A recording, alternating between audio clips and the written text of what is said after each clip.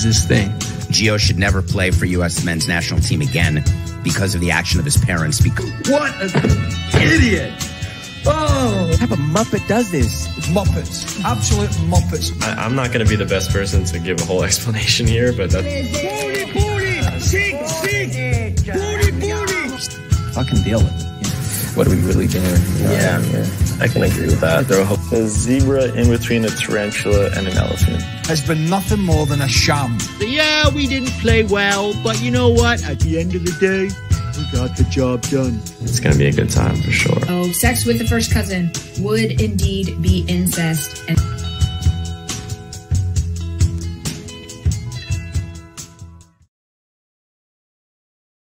than to be with another man.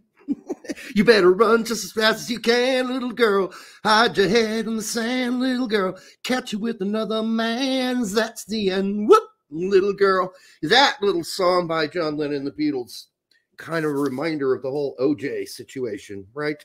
Except he took it literally. Um, anyhow, he's gone. Uh, but 1994, where the hell were you, Brett? 1994. I was in college. You were in like Yeah. you were like fifth grade, right? 1994. Uh, I'll be seven, uh, 11. I've been 11 years old, so Like third grade six, or sixth grade, somewhere around there, right? Yeah. nine, 10, 11, fifth. We've been about fifth, sixth, about six, that range. I'm sure they made you watch that in class though, didn't they? Like the trial and all that, or they skipped that?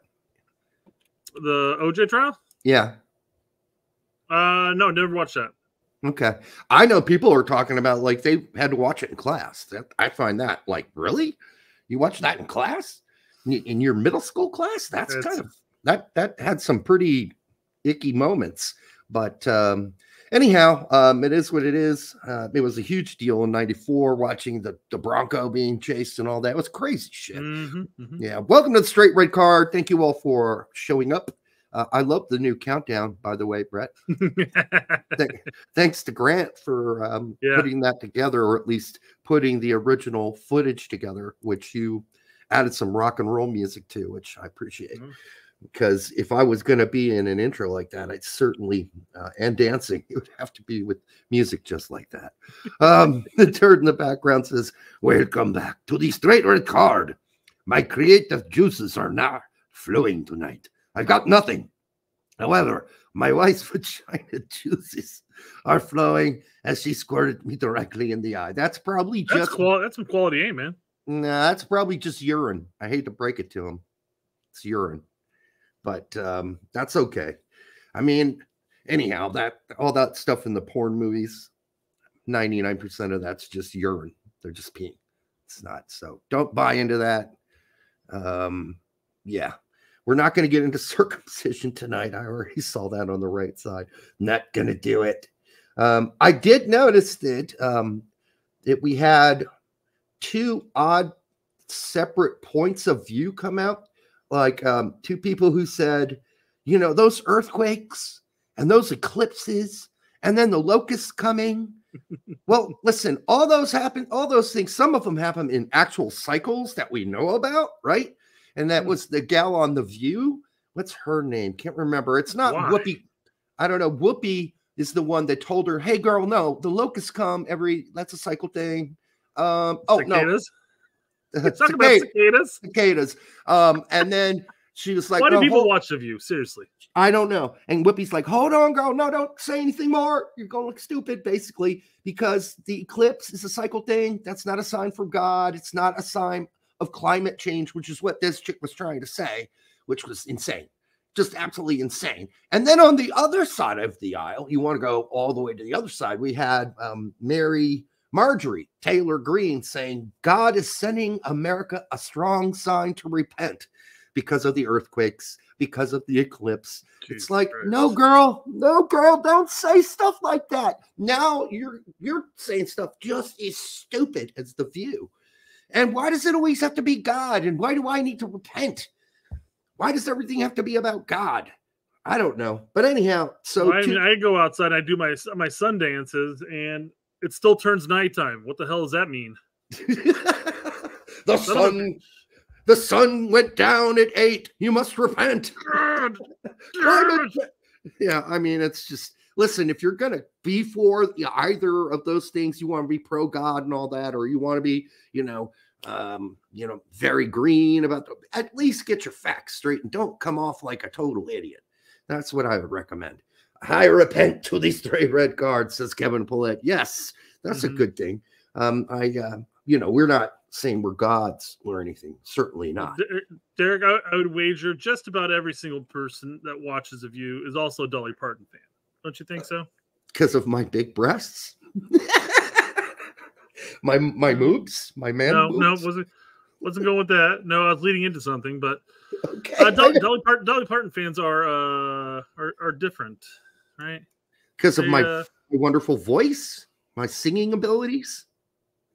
no, again, we're just, I'm just I'm talking I'm talking about a, a population of women who watch The View.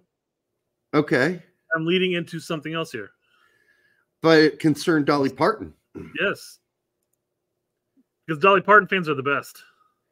I love TV. That's when you put the full name of the person on your shirt. You really do. Um, Yeah. And I don't believe the guy on the left could do a DP. I'm pretty sure he's only got one one hole back there. maybe it maybe insane. I guess I don't know. I guess he could stuff two in there. That'd still be a DP, right? they do that all the time. an incredibly smooth segue. I agree. Just there going like, "All right, I'm trying to weave this in there, and you're like, why? Because of my moves? I'm like, oh no, when I, when, I'm going to set this up again. why? Well, you, Because my deep, sultry voice. Oh. well, you compared me to Dolly Parton, so I can only think. Jack Pineda wants to be educated on what a DP is. uh, designated player. Yep, 100%. And you can and you can fit two of them in the same orifice, apparently, or one in one orifice and one in the other. yeah, I mean, you could do a spit spit roast, they're, Fumar. they're they're usually about a quarter of an inch away from each other too when inserting. right? And get my drift. Fumar's saying you could do a spit roast, but what I'm saying is, if you could see that, Is that considered a that's not. It's not. It's not. I mean, technically speaking, yes, penetration does occur there, but It's not the, the same thing though. Um, it's not classified in the porn industry as the same thing. A spit roast is just a spit roast, right? Derek knows all about. That's an Ei- that's an Eiffel Tower, by the way. It's an Eiffel Tower. You know, one from one end, one from the other. They all have in there, and then they high five over top of her. Oh, that's called an Eiffel Tower. But if you Tower. if you don't if you don't high five, it's simply just a spit roast. Okay. Tony Martinez is paying attention already. Tabs galore. Yeah, I just saw that, and I'm like, how in the hell do you have that much content for this show? Uh, Um, I went I went searching all the dark crevices of Twitter for this stuff. But af- And- and- Oh yeah, sure. And after this picture, I was thinking not content, maybe maybe content. content, yeah, yeah, exactly, yeah. All right. All right. Thanks to everyone. Make sure you like and subscribe as we head into the deeper orifices of this show. Um, uh, there is a good interview you should check out, not now, but later, between Tact and Joe Lowry. Lowry being the guy who said all this talk about Gregg Berhalter and coaching and how important it is is a red herring. They had a debate on Tact Show. It was really good. I do recommend it. It was a lot of fun to watch. Um, the one thing about being in this now where I can see what's going on, like I can see the chat, right? Hmm. The comments, and then I can see who's watching, who's not watching. It's like, wow, that's just almost too much information for myself to go on. Um, yeah, yeah, but you know, now that I've I've pressed myself, I did want to say that guy Connor who covers all the Leeds stuff Hmm. uh, in his fan channel, he needs to, um, which is the Leeds uh, fans channel, he needs to find a hairstyle and just stick with it for a while. Just stay with the same hairstyle. And I don't think the one where he shaves it all the way up to here, so he looks like a medieval knight.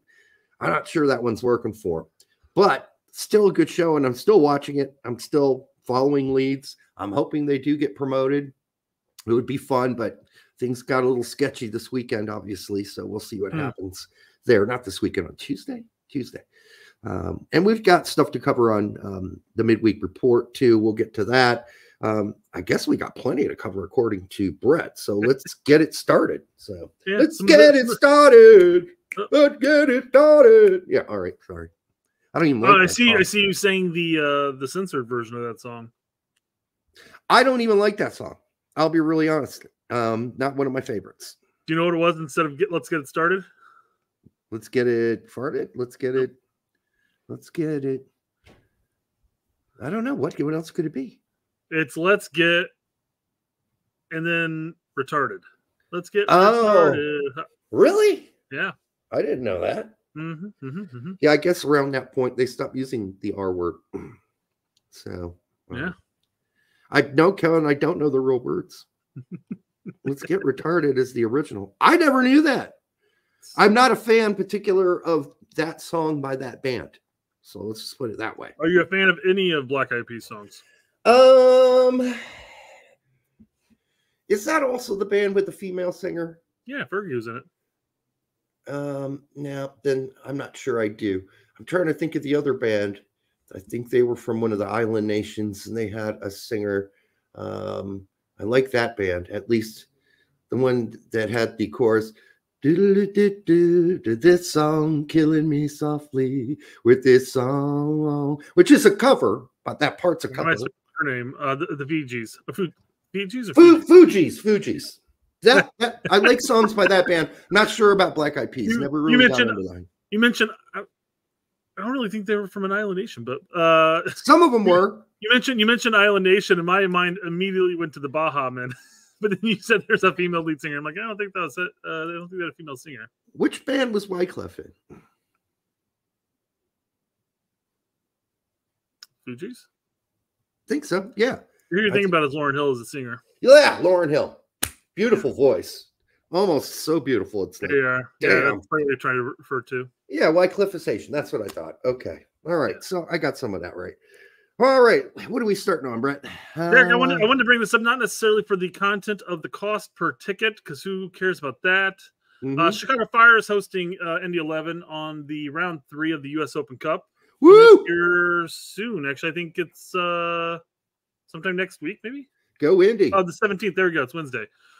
And uh, I wanted to bring this up because one of the big excuses and lies are being peddled by Nelson Rodriguez and Don Garber for why he wanted the MLS Next Pro teams included was because they lose a lot of money. They lose money. All the MLS teams lose money in the Open Cup because they have to travel to all these places. But Chicago Fire, too, are unless there is some amateur team that is below Division Three, every single match that Chicago Fire two and, and uh, New York Red Bulls are going to play two are going to play are going to be at home, Empty stands. which means that SeatGeek Stadium has to open up to the public. To uh, you know they're going to try to sell tickets, but they didn't. Have, they've sold like fifty tickets to each match so far. Right. It is a Wednesday, and I understand that's a bitch to get out uh, all the way to Bridgeview, but um, that if that game's in Indy, it's packed. Exact, hundred percent. Yes, that's kind of the point. Because now, now Chicago's going to be playing all their games at home, which means they got to open up SeatGeek Stadium, which means they're going to lose more money opening that stadium and you know supplying the the labor costs and everything that goes with it Right. than if they were to just get a bus and shuttle their asses down to Indianapolis.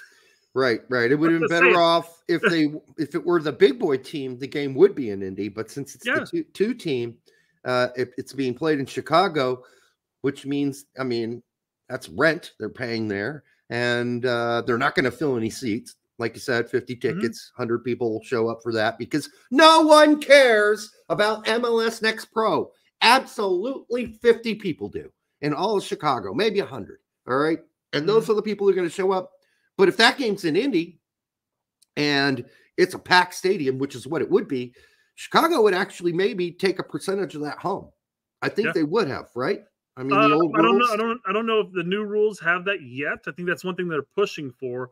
I think what uh, U.S. Soccer or U.S. Soccer has uh, uh, moved forward with is they were they're covering travel expenses. Yeah. So Yeah. they could have they could have covered the uh, the bus. I was going to carry them all down. Yeah. I mean, So- that's costs almost nothing, really. So th- this is this is just hysterical to watch. Quite frankly, I'm kind of surprised that that MLS didn't push for a rule change. That now that they got 11 MLS Next Pro teams in here, that they would have said, "Hey, we want all of our games to be on the road." Yeah. because it's well. it's it, you're, all these early the the third divisions, the fourth division teams that are that are that are playing MLS Next Pro the first and ra- second rounds. They're not going to bring in people. Nobody's going to come and watch those games. no, even, no if, one's even if the game was on a Saturday, nobody's going to go and watch those games. no one is going to go watch MLS Next Pro. Period. Like, okay, no one is an exaggeration before somebody gets their nuts in a tie in a knot, Mhm. but it's pretty close to no one. Whereas if that game's played in Indy, it's a packed stadium. Packed, absolutely packed. So there you go. So Yeah. Fumar's asking, he thought the lower teams hosted automatically in the Open Cup. They do. They That's do. why Chicago's hosting all these matches because they hosted. Chicago uh, two. Chicago yeah. two. I'll say the only match that they hosted against the lower team so far has been the uh, Chicago City FC, which is a Division Four team, I believe. Wait, hold on. Yeah, they're a USL two team, so they're amateurs. It's like Division Four at the point. Yeah. Um. Madison, uh, Forward Madison would have been Division Three as well, um, but I don't know how they how they gauge that by any means. But then uh, Indy 11's a Division Two team, therefore Chicago's hosting them. So Yep. Okay, well, that's what you get when you're so fucking cheap. You won't pay up a few bucks to stay in USL, Hmm. where your teams, your group of younger younger men, younger boys, whatever you want to call them, hairless wonders, get to play against real men. Now this is their only opportunity to play. and over half the teams only played one game. and they were out because they're awful. And they Yeah. got beat by amateur teams, just like Seb said. So Yep. uh, there you go. All Womp, right. womp, womp. Let's talk about this uh, U15 roster. This is uh, an interesting group of uh, MLS Academy players. Uh, not a single player from a non MLS Academy. First off, I noticed that. Yeah. Um, I know Did- that did- was, Do we, do we was- scout any other teams? I mean, that's what the criticism was. Um, I think I saw one of the the brothers of the three four three guys in there saying, Well, this just means they didn't even give the other academies a chance. None of none of the MLS academies are getting scouted properly because he says, I, I can guarantee you there are great players in the other academies, and the reason they're still in those academies, they didn't want to sell sign MLS contracts. Yeah. And so they're going to stay in those academies and then they're going to go play in USL. And then they're going to go move abroad if that's the next option. But um, yeah, the whole idea that only MLS academies are developing good players, I'm not finding that a little hard to believe. Um, I'm sure there's a few out there, handful out there that are probably really exceptional players that are getting overlooked, would be my guess, um, because they're not in an MLS academy. And say what you want about US soccer, their ties to Major League Soccer are obvious at this point. They're obvious. So, not a shocker. But I like this guy, or I should I say, damn this guy. Ty Jones says lots of American names. The f- does that mean? What is an American name? Yeah, exactly. If your name's not like Iron Claw and you're not a Native American, none of your names are American names. All right, like not Native American. Obviously, all these names are going to have to be from backgrounds all over the place. I don't know Yeah. exactly what an American name is. Smith, Anderson. Ugh. What's and, and Anderson wouldn't even be. in- well, Uh, yeah, we was that uh Christopher Cook over here from FC Dallas. We can't even take that because that's an English name. It is. And if I could read the name of the players because it's so small, I can't. I'll Um, uh, I'll butcher it for you if you want. Yeah, let's try to We got uh, Keller Keller Abbott, Abbott's pretty general English standard last name. James Donaldson, Could be Scottish, could be English. Tobias. Not going to pronounce his Polish type name. All right, prob- whiskey. Probably I don't know. Polish. I had whiskey in there as if I, that's all Polish names, but it's clearly not there. So yeah, very Polish name. uh, Hugo Berg, How do you spell Berg? B E R G. B E R G Berg. Probably Dutch or German. Edward Chadwick. That's Probably. English. That's very English. Very English. Uh, Nash uh, Dearman. Dearman, probably some sort of German in there, more than likely. Yeah, Uh, so Gianmarco Di Noto. That's definitely Italian. That's a yeah, sounds Italian. Um, He's right. He, hey, Ty's exactly right. All these names, none of them are American. there are none of these names None are. American. What the hell, man? Yeah, so that guy's just dumb. Like, if you're still walking around these days going, yeah, man, that's a lot of American names in there. What the does that even mean, dumbass? Jesus. All right. That's all I Uh, want to Fumar, really Fumar wanted to point out that I've got a targeted uh, Trump ad on my uh, still here, my my screen cap. No shit.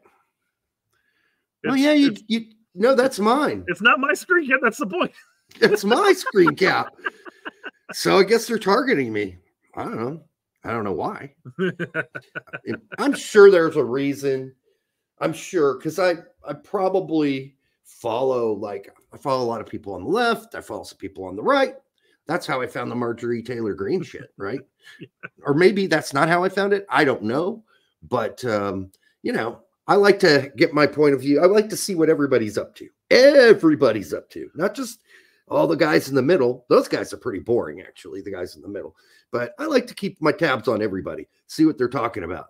Got to know who who you're what you're looking at out there. You can't just Yeah. look at can't live in an echo chamber, people. All right, Wizard Dragon. I'm not sure that's a great name. Um, I thought Cavan Kevin Sullivan was being hyped up, but he didn't make the U15 roster. What I'm missing, I think he's on the U17. I don't think he's U15 anyways. Yeah, I think they 15 moved, going on 16 at this point. they moved him up to the U17s already. So Yeah. there you go. Yeah. All right. We don't do politics on the show. Don't even ask me about politics here. Mm-hmm. I, I've made whatever comments I've made before, and I think it's pretty clear that I just go. don't like It- the establishment. Brian- I don't like that's either party. Lawless takes. Is There that could that could be it? Lawless does a lot of pop politics stuff. He's very brave about that, even though I may or may not agree with everything he says. He's got a big pair of balls to be out here on Twitter saying it because honestly, he could just lose 50% of his audience, which is what probably happened to him. I'm sure there are 50% of I people mean- who are burning his jerseys and pissing on his pictures of him. He doesn't know. care because he, he's he's spent like the last two decades at Fox. Unless he has, unless Fox is actively aiming to get rid of him, why does he care if he loses half of his Twitter audience? I guess so. But I mean, I made the point before. I was driving in the Butler University community and I saw somebody with all these signs in the yard, and one of them said, Proud Democrat. And I thought, what the fuck are you proud of? And then I, if I would have seen the same sign in Noblesville that said Proud Republican, I would say, what the fuck are you proud of? What are either of you fuckers proud of?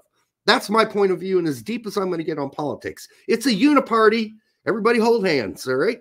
There you go. Hmm. I'm not going to get any deeper because we don't have time, and this is not a political show. Uh, my my political views and Brett's are quite complex, actually. Mm. Well, mine might be a little bit more complex than Brett's, but I, I'll let him speak for himself. Eric Wynalda says this is a problem.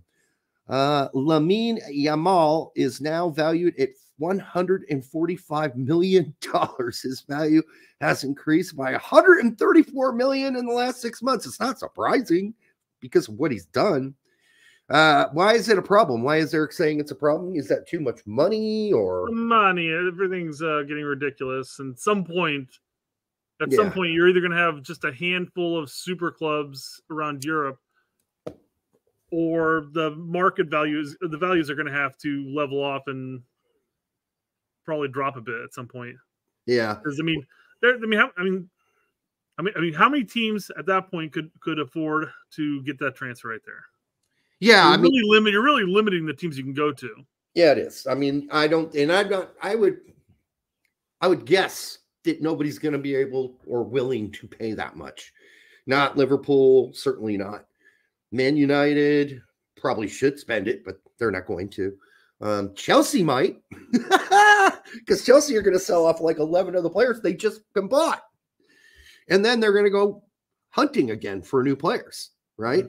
But and they are they are willing to overpay. They overpay for everything. So I don't know. Um, Eh, Chelsea's at the top of that list, right?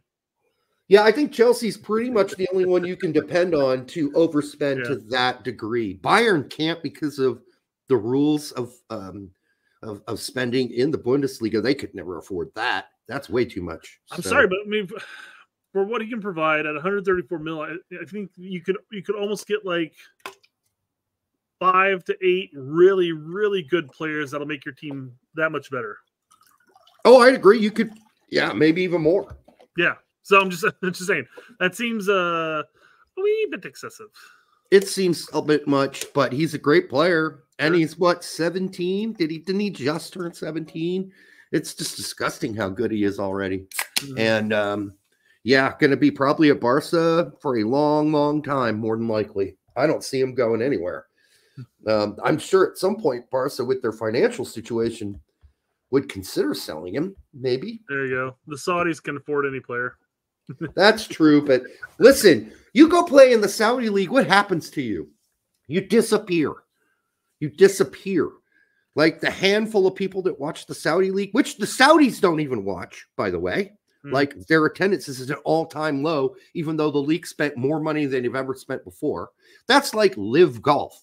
Who watches live golf? I don't even know where to watch it, even if I wanted to watch it. I'm watching DeChambeau leading the Masters today. When I get home, I'm like, DeChambeau, dude, where's that guy been? Oh, yeah, live. I haven't heard his name, has don't know any of his results, haven't.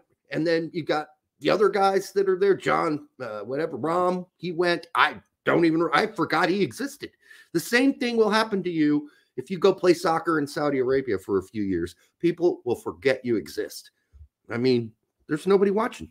So Maybe it's possible that, and I, I've already uh, deleted the uh, the tweet, but it's possible that that tweet was a typo, and instead of 175 mil, it was supposed to be just be 75, as as BMR mentions here. Yeah, no, I mean, it would make more sense. And by the way, I wouldn't listen to what, like, say, Barca value him at. I would just, I would stick with Transfermarkt because they're generally pretty good and they make their adjustments and they actually tend to be more accurate once the transfer is done. Um, so there you go. Scorpion Larry's like, fuck the show without Brett. yes, There were, there were a couple comments at the beginning of the show before it started. It's like I'm only here. I'm only here because Brett's back. yeah, I'm here. I'm here to see Brett. It's kind of painful, but Well, yes, that was the thing. I made the comment, and uh, I was I was uh, watching the shows and in the live chat for the uh, for the two shows, and um, somebody was, had mentioned like uh, like oh this is this is it's something about you, are you doing it solo? And I'm like, guys, there's no chance in hell that I could do a show solo. Maybe with given time I could, but it would be boring as fuck. I mean, yeah. I I mean, mean, that- I don't know. that- about- I find that's that's that's the problem. I mean, all of our live streams would literally be 30 minutes long because at that point, why would you ever go longer than 30 minutes just by ourselves? That's got to be tough. And I mean, I know you did it though. I stretched it a little. it. Yeah, managed- I did, but I'm a motor mouth and I can't.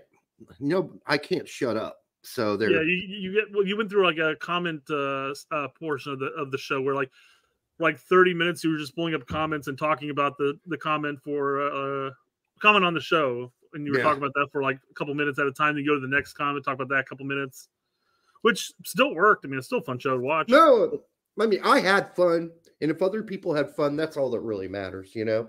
Yeah. Sorry, I know you and Scorpion Larry have this tight relationship that I'm not a part of, and of course I blocked him on Twitter, so he hates me. But I mean, there's only so much I can listen to before I go. Eh, I don't need that. Uh, I don't. I didn't mean to block you though, Larry. I meant to mute you meant to you. mute you yeah because I just- 'cause he you muted and blocked so you should just go and unblock him I didn't know the difference. So I mean, should have known the difference when I was doing it, but I probably didn't do a good job. So sorry, Larry. I will unblock you and just have you muted for, and then you can just keep talking to Brett. That that's what I recommend. Yeah. just keep talking to Brett. All right. Um, let's see here. Go ahead. Uh, what do we got here? Max Bretos. Yeah. Uh, our buddy says, Can you imagine being interviewed by Alessandro Del Piero? It's supposed to be in reverse. Dortmund coach Edin Terzic couldn't resist. Don't blame him. Yeah, I mean, he's a legend. He's a fucking legend. let's see what they talk about here real quick we, we Okay. taken a result that we are not really happy with, but we are also not very disappointed with to Dortmund. And then we have a great opportunity to show that we are not only a team that plays 60 minutes good football, we are a team that is ready to play 90 or 120 minutes good football, and then we have the It's like man love challenge. going on here. I was wondering that too. They're both looking at each other's eyes and giggling. I know. It's like, yeah, I'm really attracted to you. Yeah, I'm really attracted to you too. It's to go to the semifinals. Okay, good luck. Thank See you you in very a much. week. Ciao. See, yeah, right. We See you in 10 watch- minutes. Good luck. Yeah, of Oh, I'm course. sorry. I'm sorry, but you're you you've been my biggest. We we taken. So he was starstruck there. He's like, oh my god, yeah. Del Piero, I gotta get a selfie with him. I mean, listen, there players like Del Piero just don't come around very often. Sure, He's 100%. fucking legend. He was one of my favorite players too. one of mine. Yeah, God, I mean, he was just so good. And, you know, it's not like he was amazingly physically gifted or anything like that, but he was like one of the highest IQ soccer players I've ever seen. And boy, could he shoot. Well, He you don't score that. You don't score that many goals consistently, and not be. I mean, and, and Serie A back then was a different league than what we're seeing now. So Yeah. They kiss at the end, says Tony Martinez. he should have said, I'll see you in 15 minutes. there's actually three kisses, one on each cheek and then one on the lips. really? Yeah, Was no. there was there tongue? It cut off. I didn't get to see it. No tongue. Okay. PBS is like, we can't show that, guys. Come on. because it looked like if that happened, there would be tongue involved. At least on Terzic's part. And you know, Del Piero might go, Hey, whoa, whoa, whoa, okay, that's too much there. uh, I like you too, but hey, you know, let's not push it, buddy. All right, what else you got? So yeah, did you watch the uh Bayern Munich Arsenal game? Um, not the whole thing. I watched chunks. There's a big uh drama debacle. Oh yeah, yeah, yeah. Was it a handball or wasn't it a handball? I saw um, Gr- um Craig Burley and um, who's the um, the Norwegian guy go at it because the Norwegian guy I always forget his name because it's a weird name. Um, and he's like, "Hey, the rules are the rules, man. You can't pick up the fucking ball once the whistle's blown. You can't just be like, oops, I picked it up and start up again." And then Craig's like, "Yeah, I mean." Maybe he didn't hear the whistle. Maybe he got confused temporarily. You're really going to give him an in Craig, Craig's watching the uh, CBS report because that's literally the same argument they're making here. Some people are making here. yeah. I mean, either you got the rules or the rules, and um, and and or or you're Jan. Thank you, Fumar Jan. And then his last name's like Flute, Flute, It's like sound like a Muppet. it's like the Norwegian chef, the Swedish chef. But he's Norwegian, right? Um, and yeah, so Jan's all grumpy and grouchy and yelling at Craig, and Craig's, you know, I think for the most part taking it pretty well, and just said, "Ah, come on, that's a little ridiculous. You're going to give them an indirect free kick? Well, let's see what uh, what's her face, the daughter of uh, what's his face, the umpire. Well, I was like, what a what a weird way to word that. Like, uh, what's her face, daughter of what's his face? I mean, that, I mean, how many what's her faces out there are are the daughters of what's his faces? uncle, uncle, right? Whatever. Uh, she's the daughter of the uncle. That sounds weird too. They've been watching our show, apparently. You know, little incestual things going on there. Uh, so, uncle from uncle to uncle, and this is the younger uncle, and she works somewhere. I don't know where in particular, but she's hired by CBS to come in and provide the referee's point of view. I guess you're gonna play it. There was another decision that happened earlier from a goal kick by Arsenal in which Gabriel handled the ball inside the box. Can you tell us more about that? Yeah, so you know you can see and you can kind of feel it, right? So the It's not a that's a painting of Ruth Bader Ginsburg. Get uh, Ruth Bader. What's her last name? Ruth Bader, the Supreme Court Supreme Justice. Court. Yeah, Hmm. that's an interesting photo I have back there. Yeah. Hmm. Pretty Ginsburg, Ruth Bader Ginsburg. Yeah. you know the- you can see and you can kind of feel it, right? So the referee issued the whistle. So I'm gonna have to pause it periodically through this because I don't want to get dinged by, um, I guess CBS or uh, UEFA or whatever. Right. Whoever's gonna fuck us over in that end. Well, yeah. All right, so th- this is actually after the pass. I'm sure they're going to go back and wa- to be show the whole thing here in a second. Uh, keeper initially played it. This player here picked the ball up and then played it back, and the keeper did not realize that the goal that the referee had initiated. So I guess one thing I would say is uh, if if they didn't think that there was a goof there, like if the goalkeeper didn't think that his defender goofed, why did he pause? It's not like the ref was blowing the whistle. You just had Bayern players all like shake their hands like this, Yeah. but he sat there like, is he going to blow the whistle or is he not going to blow the whistle? Is he going to blow the whistle or not blow the whistle? And then they play. So I think I think I think Arsenal's goalkeeper even sat there and goes like, "Oh Jesus Christ, what the hell is that, dude?" Would you? Why'd you just do that? Yeah. Oh, you're and then you're just gonna pass it Play it back off to cool. me, Play it off cool. and then you're just gonna pass it back to me anyhow. This was planned out. This is stupid. but you know, I, I think it's a whole lot about nothing. Honestly, I, I don't think it's a big deal. I, I just listen. I understand it. It's like when you watch do people do the throw-ins. They step on over their toes go over the line all the time. That never gets called. Never. And how about the guys who have the ball in their hands on the sideline and they're going to do a throw in? Instead of throwing it in, they underhand lob it to another guy who's on the pitch and say, hey, How about you throw it instead? That's an illegal throw. Well, well, the underhand, yeah, well, yes, there, but that would there'd be intent there because he is getting the ball to throw it in because it's not like he threw it in because the goalkeeper put it down for a goal kick and then he kicked it. The ball, and they're gonna have to show replay because they don't, they don't, they cut it off early. The ball goes like a yard off the box. Defender goes and collects it, brings it back, and then does a goal kick again. It's a bit different because that was already set up. It'd be like I was gonna make this argument because it'd be like him going back here to do the throw in and then saying, "Oh, Paul over there wants to do the throw in," so then he just throws him the ball like that, and the guy picks it up. Then Well- that would get called, wouldn't it? technically, I see and I see it all the time, is people are going to do a throw in. They decide not to do the throw in, and then they turn around and lob it underhand to somebody on Whatever. the pitch. On the Whatever. pitch. Well, So that- that's- I'm, I'm saying I'm saying that, that it's clear that that was not a throw in. I'm he just saying- throwing the. I'm just saying. Would be, Technically, that player cannot catch the ball on the pitch, then run off the field and then throw it back in again because the other guy delivering the underhand pass to him on the field of play is an illegal throw in. He's not allowed to catch it and then run over the line and then throw it again. But they let that go constantly. again, again, the, the intent there, it, it's it's it's clear and cut intent that he's tossing the ball to another player to take the throw. When you set a goal kick down on the line to take the goal kick, and Yep. then you kick it forward off the box, like forward, like that as you're allowed to do here, and then you reach over and grab it and kick it. It doesn't have the same look to it. Doesn't have the same intent. Now, mind you, he may have been saying, "Hey, you take the goal kick," and he kicks it over to him. Whatever. That's that that might have been his intent, but it's a bit different. Like I said, it'd be the equivalent of him reaching back for the throw in and saying like, "Oh, Paul wants to take," it," and then just throws it over to him, and then he takes the throw in. That would get called day every day. If it were overhand, Yes. overhead, okay, I guess.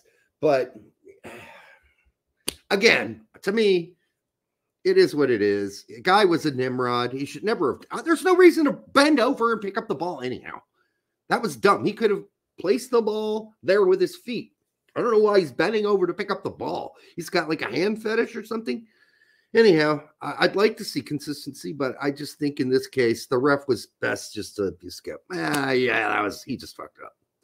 And I'm not going to call it. Otherwise, they get an indirect free kick right there in What front a- of the goal. What a hor- what a horrible position to be in as a as a ref though in that situation because you Yeah. might have sympathy and say, "Oh well, he was. I mean, he's clearly going to take the goal kick here," but it's one of those. It's a, it's a it's a stupid thing because then he ends up kicking the goal kick right back to the goalkeeper anyways. What's the fucking point? But uh, but then you have an entire you have an entire team and you'll have other other people will be calling you out like we're seeing on all these other shows saying that should have been called because that's the rules of the game. He took a goal kick. The guy handled the ball in the box. Yeah, I guess. I, I don't. It just. I, I'm just. I'm not going to lose any sleep over it either way. I'm glad they didn't call it because that would have been crazy. That would have been a crazy thing to do at that point in the game, that late in the game. I just think that would have been a bad mistake. So I want I want to continue playing because I want. uh There was one thing that she does end up saying that I wanted to address as well here. Okay. So at the beginning of that goal kick. So Tuchel right now is complaining and saying that a penalty should have been given for a handling offense here in this situation. So at this point, the goalkeeper. I got to keep pausing it because it keeps showing the stupid game. Cut And back I don't- the audience. I don't even know what that dude's thinking picking up that ball. It was it was dumb. You I mean, stupid how, how idiot. often? Well, how often we normally grab that anyways? Usually, uh, wouldn't he just use his feet to drag it back and put it on the box? I- that's what I said. Is he has some sort of handling fetish? He's got to pick up the ball and put it in his hands, even just to be safe. Don't pick it up. Mhm. I mean, Jesus, it's just the guy's a doofus. Let's just put it that way. He's a Yeah. dumbass to put the ref in that situation, to put his team and teammates in that situation. He can only thank the refs. Kiss, go over and kiss the, the freaking refs and testicles because without that, he what he did was literally illegal. Yeah. So keeper has played the Trying to get to that point where she says it. picked it up, placed it, believing that the goal kick has still not yet been taken, and then they initiated on this. Tuchel's arguing that a penalty should have been given at the line. Hurry up, Unkel, get to the fucking Many fucking of them are point. claiming that it is. The referee did blow the whistle. However, if you are arguing for this to be a penalty kick, with all due respect, you hate football because here we have to use common sense and law 18. At no point was any advantage taken away from Bayern in this situation. Okay, so no advantage was taken away from Bayern.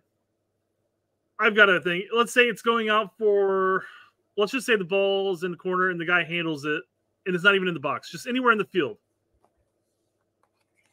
And the ball, he handles, he handles the ball, a normal handball. How, I mean, there's nobody around him, nobody pressing him or anything like that. He's got miles in space. Would a handball still not be called? You see it all the time now in free kicks. One guy's gonna, you know, kicks it over to another guy to take it. He picks it up, and you're like, no, that guy just started to play. What the hell? That ball was settled. It was not rolling anymore, and he kicked it to somebody else, who then picked it up and reset it. See it all the time. So I guess it's about the uh not what do they call that? The spirit of the game. That rule. I can't remember. I don't know. She brings it up, but it's really up to the ref to use some common sense about the new one general spirit of the game. So, full time official week says, as a ref, it's common practice there. The ref has complete authority over it if and when a restart can be retaken. Yeah. So I mean, to your point, that would be him simply saying, "Well, he he, he fucked up clearly. Retake the kick." Um, I don't know. Yeah. Yeah. I don't know. Again, I, I, I have no, I have no dog in this fight. I don't either. So I I just- really don't care. Fun, it's fun. It's fun. I, I think it's kind of fun just to banter back and forth about it. Um, but I honestly don't think it's ever going to happen to my any of my teams, whether national team or club team. I mean, I just never seen I'm hoping something. nobody's that dumb. never really seen anything called like that before. Like I said, on the throw-ins, you never see it called. On uh, just free kicks, you never see it called. When guys are like clearly rehandling a ball that could be determined already in play, or you know, based on the whistle or based on whatever the flow of the game. You see people handling it. Why people are handling the ball as much as they do, I don't know. You want to go handle balls, go home to your apartment in the privacy of your own home and play with your own nutsack. But out on the field, you don't need to be picking up the ball unless you're doing a throw in. Otherwise, and you're or you're a goalkeeper. I don't know why this guy got to bend over and grab the ball. It's absolutely unnecessary either way. Yeah. Anyhow, Well, we don't have to watch it all. The uh the um in studio cast did not agree with her take and basically said that it should have been it should have been called. And then, And then- she went back on the front saying that, you know, like, well, you know, like, well, it didn't take any advantage away from Bayern. And uh I think it was Charlie pointed out that Bayern was getting ready to press on that goal kick. And then the So- handball came in. So it did. So if another player, an Arsenal player, walked over to a Bayern player, whipped out his cock and balls, and pissed on the guy's leg, all right, and that didn't really affect the guy in any way. It didn't injure the Bayern player. It didn't give Arsenal any advantage. Bayern didn't lose any advantage. He's just got a wet leg. That's that's still a foul. That's still a foul. I'm sorry, it is. You Mm. can't whip out your cock and balls and pee on somebody. I was wondering See, where you're going to go with that. You can't. The whole advantage thing works up into a point. but that's not how you need to look at every single rule. Sometimes you just need to follow the fucking rules of the game. Advantage or not advantage, just follow the rules. Well, the goal the goalkeeper kicked to the center back who grabbed the ball and ran 20 yards up the field, then put it down. It didn't really help him much because he ended up kicking back to the goalkeeper, so they didn't really gain an advantage, even though he advanced the ball 20 yards in his arms and his hands. So it's not just about whether somebody gains advantage or not. That's clearly um im, you know an improper use of the hands. So eh, Well, but and- whatever. And what what what? Here's another example. What if uh, you know you're you're being pressed at the halfway, and your defender kicks it back 30 yards to your goalkeeper, and the goalkeeper picks it up in the box. You're not taking any advantage away. What is what is the opposition opposite team really going to be able to do to you? Right. But mean- it's still still against the rules. Yeah, I mean it, it's only a disadvantage when you have somebody like Turner in goal who can't use his feet. But I'm just saying her argument about well, it didn't give him an advantage or it didn't help give him a disadvantage. That Yeah. doesn't matter. It doesn't matter. At some point, that doesn't matter. Now, if you want to say the spirit of the laws of the rules, fine. There, that one you can whip out. That's in the rule book. And that is up to the ref's discretion.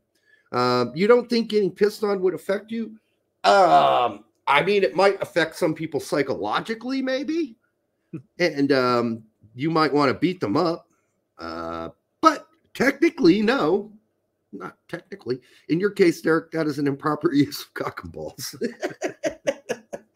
it is on the field, but Brooks anyway. McAdams wants to know if uh, if the ref can pee on players. I think the ref does have the discretion of doing that because there's not a ref of the refs, right? Unless he gets after the game, he might get in trouble with the referees association. Other than that, I don't know who can stop him from just pissing all over the place if he wanted to. Uh, the idea of gaining an advantage is a point about the spirit or philosophy behind the law. Well, that's what I'm saying. But then say the spirit. Don't say advantage and disadvantage because honestly, you can do a lot of illegal things that don't give your team an advantage. So uh, that don't give the other team a disadvantage, but doesn't give your team an advantage. You can do all kinds of illegal things. So let's just stick with the spirit of the the rules, the spirit of the law of the rules. I think that's better. Now we didn't we didn't get to play this last time, which really irritated me because it wouldn't work for me. Uh, the sound wouldn't work, so we're gonna play it again. th- This show. I like F the uh, the the video. The video is titled uh, "Berhalter Idiocy." yes, I'm sorry. I couldn't. I didn't, couldn't think of a better name for it. Boom. Boom. What we're trying to do together. Right? Change soccer in America forever. Oh God! Who's God! up for that challenge? Raise your hand. Oh no! It still Derek, makes What does that mean, you're not up for to you? To, to beat the big teams, to compete with the best. To compete with the big teams. How does he put compete the that again? teams, compete with the best. How does he put that again? Who, Who's up? Who's up for that? Raise your hands. Who's up for that? Ever. Who's up for that challenge? Raise your hand. Ah! Vomit! vomit. What does that mean, Brendan, to you? To, to beat the big teams, to compete with the best. It means getting laid a lot, man. Bro, bro. Hey, bro, it means getting laid a lot, man. All right, bro, that's what it means to me. Well, Brendan, you couldn't be more wrong. I was talking about soccer, not life. Oh, bro, my bad. bro. Yeah. I mean, that's Dude, such a Bro, bro, demeaning. Bro, fucking- soccer is life. That is like I am Mr. fucking know it all, and I'm Mr. Professor up here, and I'm waxing lyrical according to me because I'm the coach, and you got to sit here and take it, you little bitches, and you're going to answer my questions just like I can tell you to. Raise your fucking hand. Hey, you in the back, raise your fucking hand. Everybody should be raising their hand higher. I want to see you raise your hand higher because all of them are kind of like. Judgmental deity says, uh, "Oh my God, poor Tillman, looking like he's rethinking life." Yeah, Tillman's like he put up his hand like this. No, no, it's Tillman's looking at Brendan, going, "Thank goodness I keep telling Gregg I don't know English." No, actually, he turned to he, he turned to somebody else. One of the other German players was like, "Was ist los?" You know, he's like, "Scheiße." Ah, yeah, because Uh, this is uh, shit. He's just like, uh, what, what, what was Tillman saying? Uh, he, I believe he, um, the translation may be wrong, but I believe he said you suck ass as a coach. no, no. Hey, But he he he he totally looks tuned out. And then everybody else is kind of like, okay, don't call me, please don't call yeah, me. well, that's what that's what Tillman's kind of looking like, looking down a little bit. Hmm. Like, God, I swear to God, if Yeah. he calls me, I'm gonna. Dude, this is so cringeworthy. And Mark, how are we gonna do that? Shit goes right next to Brendan. God damn it! Fuck all the bitches. Yeah. What did he say? Did he say? Winning, that's it. He just said winning. I feel so bad for Mark in this situation. It's Like, I do too. He, he ran with Brendan's answer, like, "Oh, we got to beat the big teams." Oh, how are you going to do that? Like, Winning. score more goals than they do? Oh, it's the worst leadership I have ever did you seen. But that was that was Mark. Watch Mark's face when he when he's like, "How are you going to do that, Mark?" Well, watch his face. He's, he's he's he's so like like deer in headlights. What the fuck does he want me to say here? These kids are not teenagers. So, some of these people have kids. Some of these guys are married. Some of these guys, they're all grown ups now. Can you start treating them like grown ups? And can we get rid of these stupid ass slogans? Gregg, can we? Uh. And US Soccer don't post these anymore. They make Gregg look so fucking despicable as a person, like a really despicable, talk down to other people, demean other people. I mean, it's the ultimate talking down to to guys who are playing in on big clubs, big teams across the world with other coaches that are better than Gregg, and they don't have to put up with this. You know, they don't have to put up this with up with this shit their club teams. And now they come to this and they got to watch a slide, uh, a slideshow by put together by Mister Self Wax It himself, and who thinks he's somehow an intellectual. He couldn't be more anti-intellectual because everything for Gregg is broken down into a slogan. That is anti-intellectual. Quit pretending you're Socrates, asshole. All right. God, I hate this. Uh, how are we going to do that? Or is that, he's like, Brendan's like, oh, you know, we gotta gotta beat beat and compete with the uh, the big teams. And Gregg's like, uh, Mark, how are we going to do that? And he goes, uh, well, seeing how we haven't done it yet, I would probably start with changing the system. you know, that would have been a good answer. And be like, or he could say, yeah, we're gonna fuck all their moms. That's That'd be, what we're gonna do. It. that'd be one of those moments where the sunglasses, you know, come down and the joint comes over. He should have said, I don't know. What's the point of this stupid shit, Gregg? Or, or, or he's just in there like, I'm, I'm sorry, I fell asleep there for a second. What was the question? What he could have said was, "Is this some rhetorical ass question?" Uh, But then he would never got to play for the team again. Hmm. Couldn't be a smart ass and be like, "All right, is this some sort of rhetorical bullshit question?" And Gregg would have been like, "Well, yeah, but can you answer it? Because they're filming. It's going to make me look better if you answer the question." All right, winning. Thank you, Mark. Winning, yes. It's this is impossible to watch this without getting your stomach turning. Like I coached youth squads, I wouldn't teach, I wouldn't talk down to them like this. yeah. I just wouldn't. It's Who's a good player? Who scores all the goals? I taught high school for two years. There's no way I'm getting away with something like this. This this Oh. fakey, this rhetorical. I mean, this is just fake ass shit done by someone who's absolutely because you start that presentation with a boom. No, the boom ain't you. You don't get to do the boom. You put up the slide and the players go, but the players go, damn, that's them. Let them boom. But and it, you was, it was like, yeah, it was like the most relaxed boom. Too, like, click, boom. Yeah.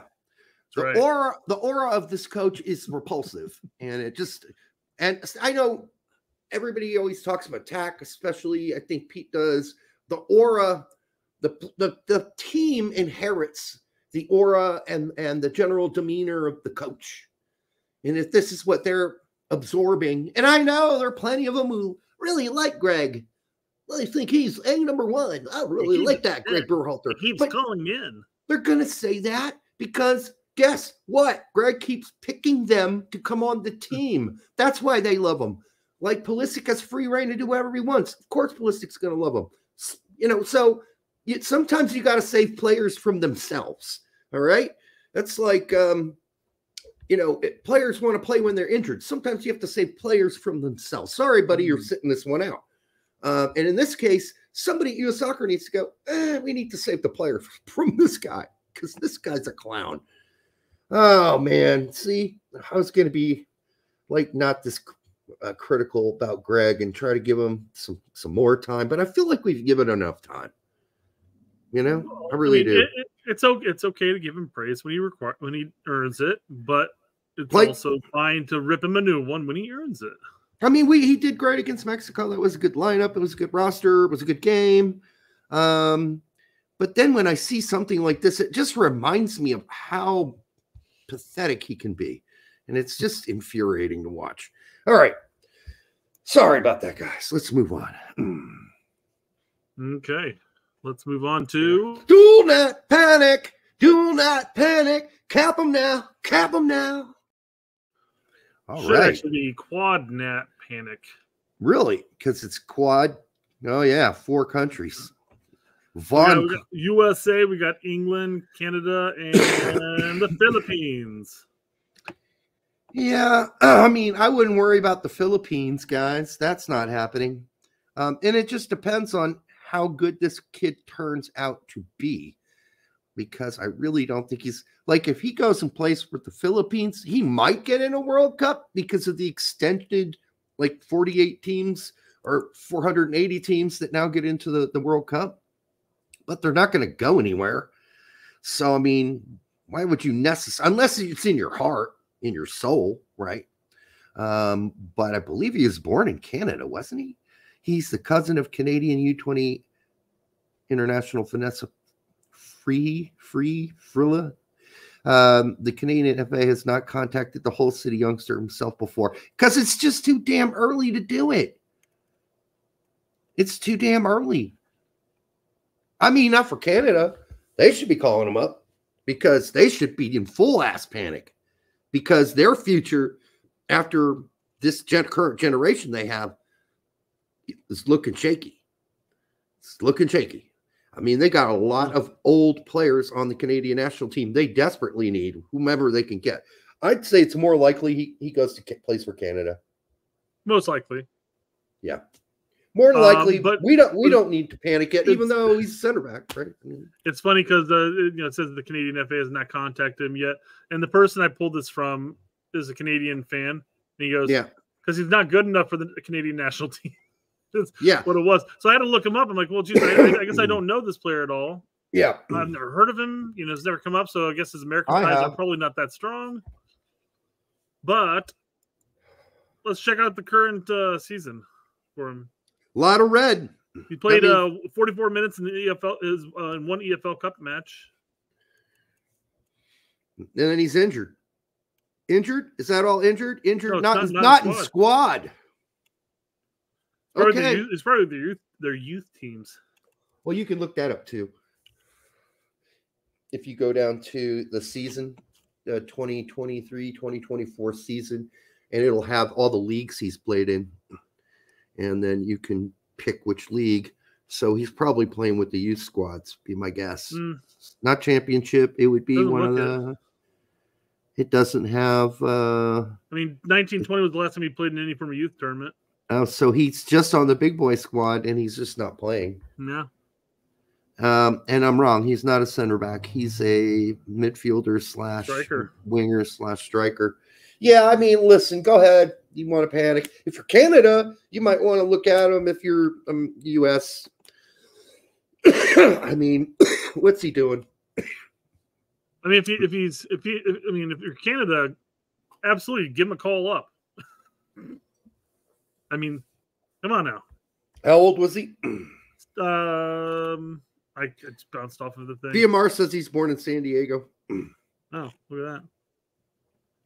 Well, we don't need him. I don't want to pull him up again. Yeah, I don't really care.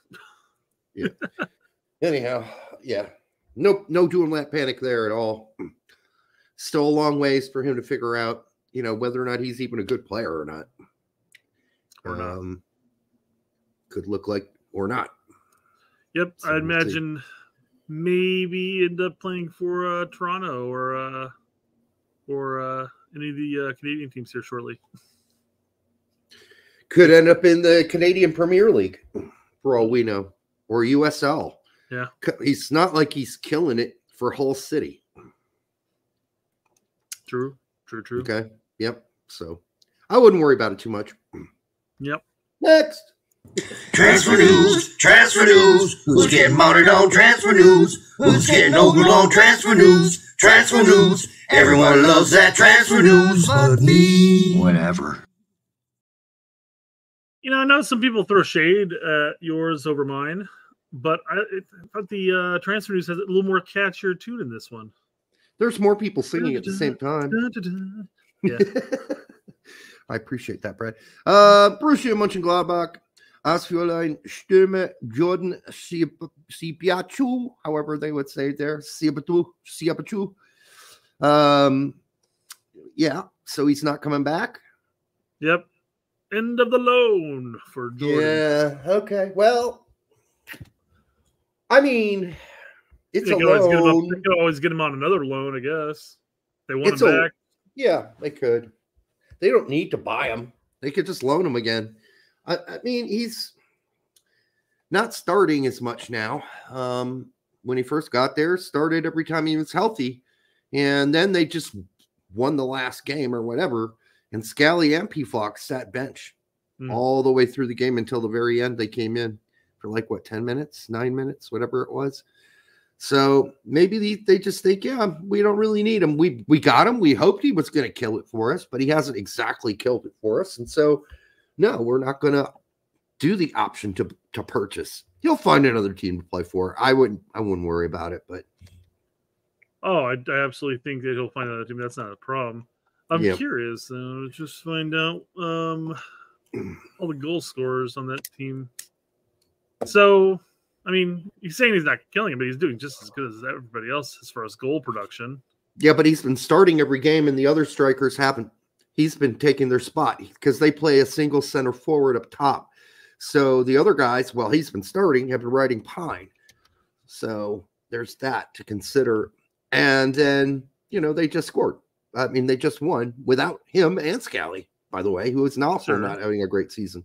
So, I mean, Scally's not having a great season. Pefok had like a medium in the middle of the road season, but that's not all his fault because Gladbach have had a hard time scoring goals this season in general. So it's not all on him. You know, it's not all on him. Okay. I don't disagree. Ferrera to Napoli. uh, on Sargent, Josh came off after 60 minutes with some quad tightness on Tuesday. It looked like something was wrong there. He is a doubt as he's not able to train today. Yeah, we'll see. I hope that's not, you know, it's not too serious. I mean, at least it was just tightness. You know, it didn't feel like he pulled anything. So he should be back, um, more than likely. Man, what is it? What is it with uh, these American players and constantly getting injured? Yeah, it's been Yeah. bad. It's gonna be something. Something's different nowadays. Uh, Yeah. When we when, when we were kids, did we just muscle through it, play through all these injuries? I mean, I never had any injuries like quads or any. I only had the knee injury, and that was it. And that was like, Uh, it- that came when I was I, my I only had my knee injury too, and that came in my uh whatever my early thirties. yeah. So Okay. Well, mine happened when I was like uh, 16, Mm. 17 years old. And, you know, it affected everything I did, unfortunately. And there wasn't the magical surgery back then that they have now, Mhm. where they take tendons from other parts of your body where you don't need them and put them into your knee uh, as a replacement. Um, but then again, it probably wasn't just, it wasn't a tear. It was probably just like severely pulled because it did eventually go away, thankfully. But it took two years to go away. Like completely. It got slowly, slowly, slowly, slowly, slowly, slowly better. slowly. Um, the following highly hyped LA Galaxy products are looking like players who won't reach their potential. We've been saying this for some time.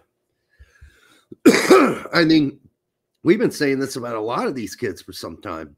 Alex Mendez, uh, I mean, he's your homeboy. I was gonna say all, surprised you didn't throw that at first, but yeah. but he's a pine rider in Vizela in Portugal.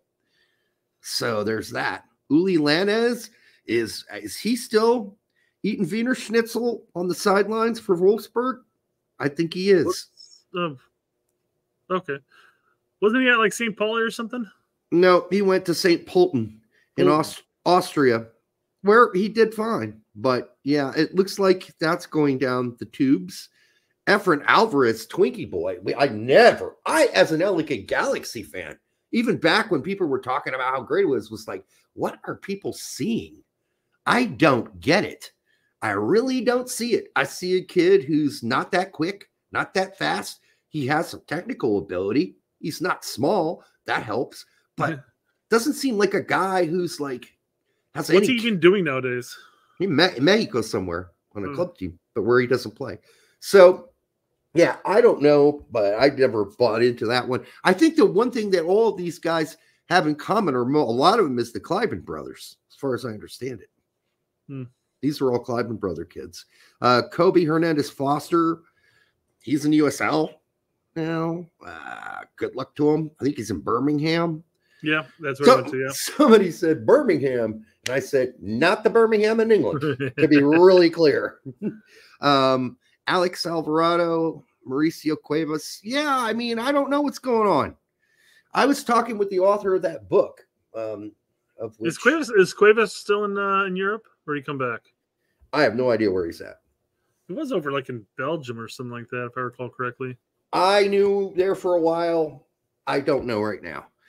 All I got to say is that there's something going on here. All these players are quite technical, but maybe like as far as Mendez and Llanez go, they were not physical creatures. And a lot of the game is very physical. And unless your technical skills are messy like or somewhere in that vicinity, you know, nobody can be messy except for Well, Messi right and- now.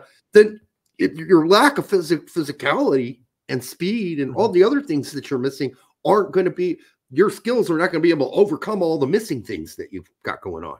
Well, remember that all, all the hype around these kids came from the youth national teams, Right. where they're playing against other youth nationals. so Right. uh, it's it's a bit different when you get up to playing with the big boys, which is why we were big, big protagonists for uh, uh, the two teams playing in USL. Yeah. That's a much better gauge than them playing a bunch of U23s every and year.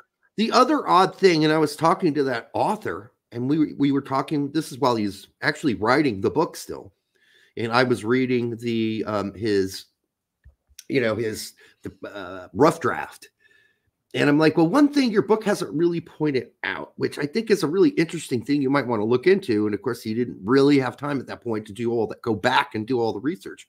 It's like it is the um Hispanic and Latin players that have gone overseas. American dual nats um, that have had a really rough time succeeding. I don't, I said, I don't know what that is or what that's all about, but it's just been an issue for so long and now it's continuing. You know, we're seeing Llanez fail and Mendez fail.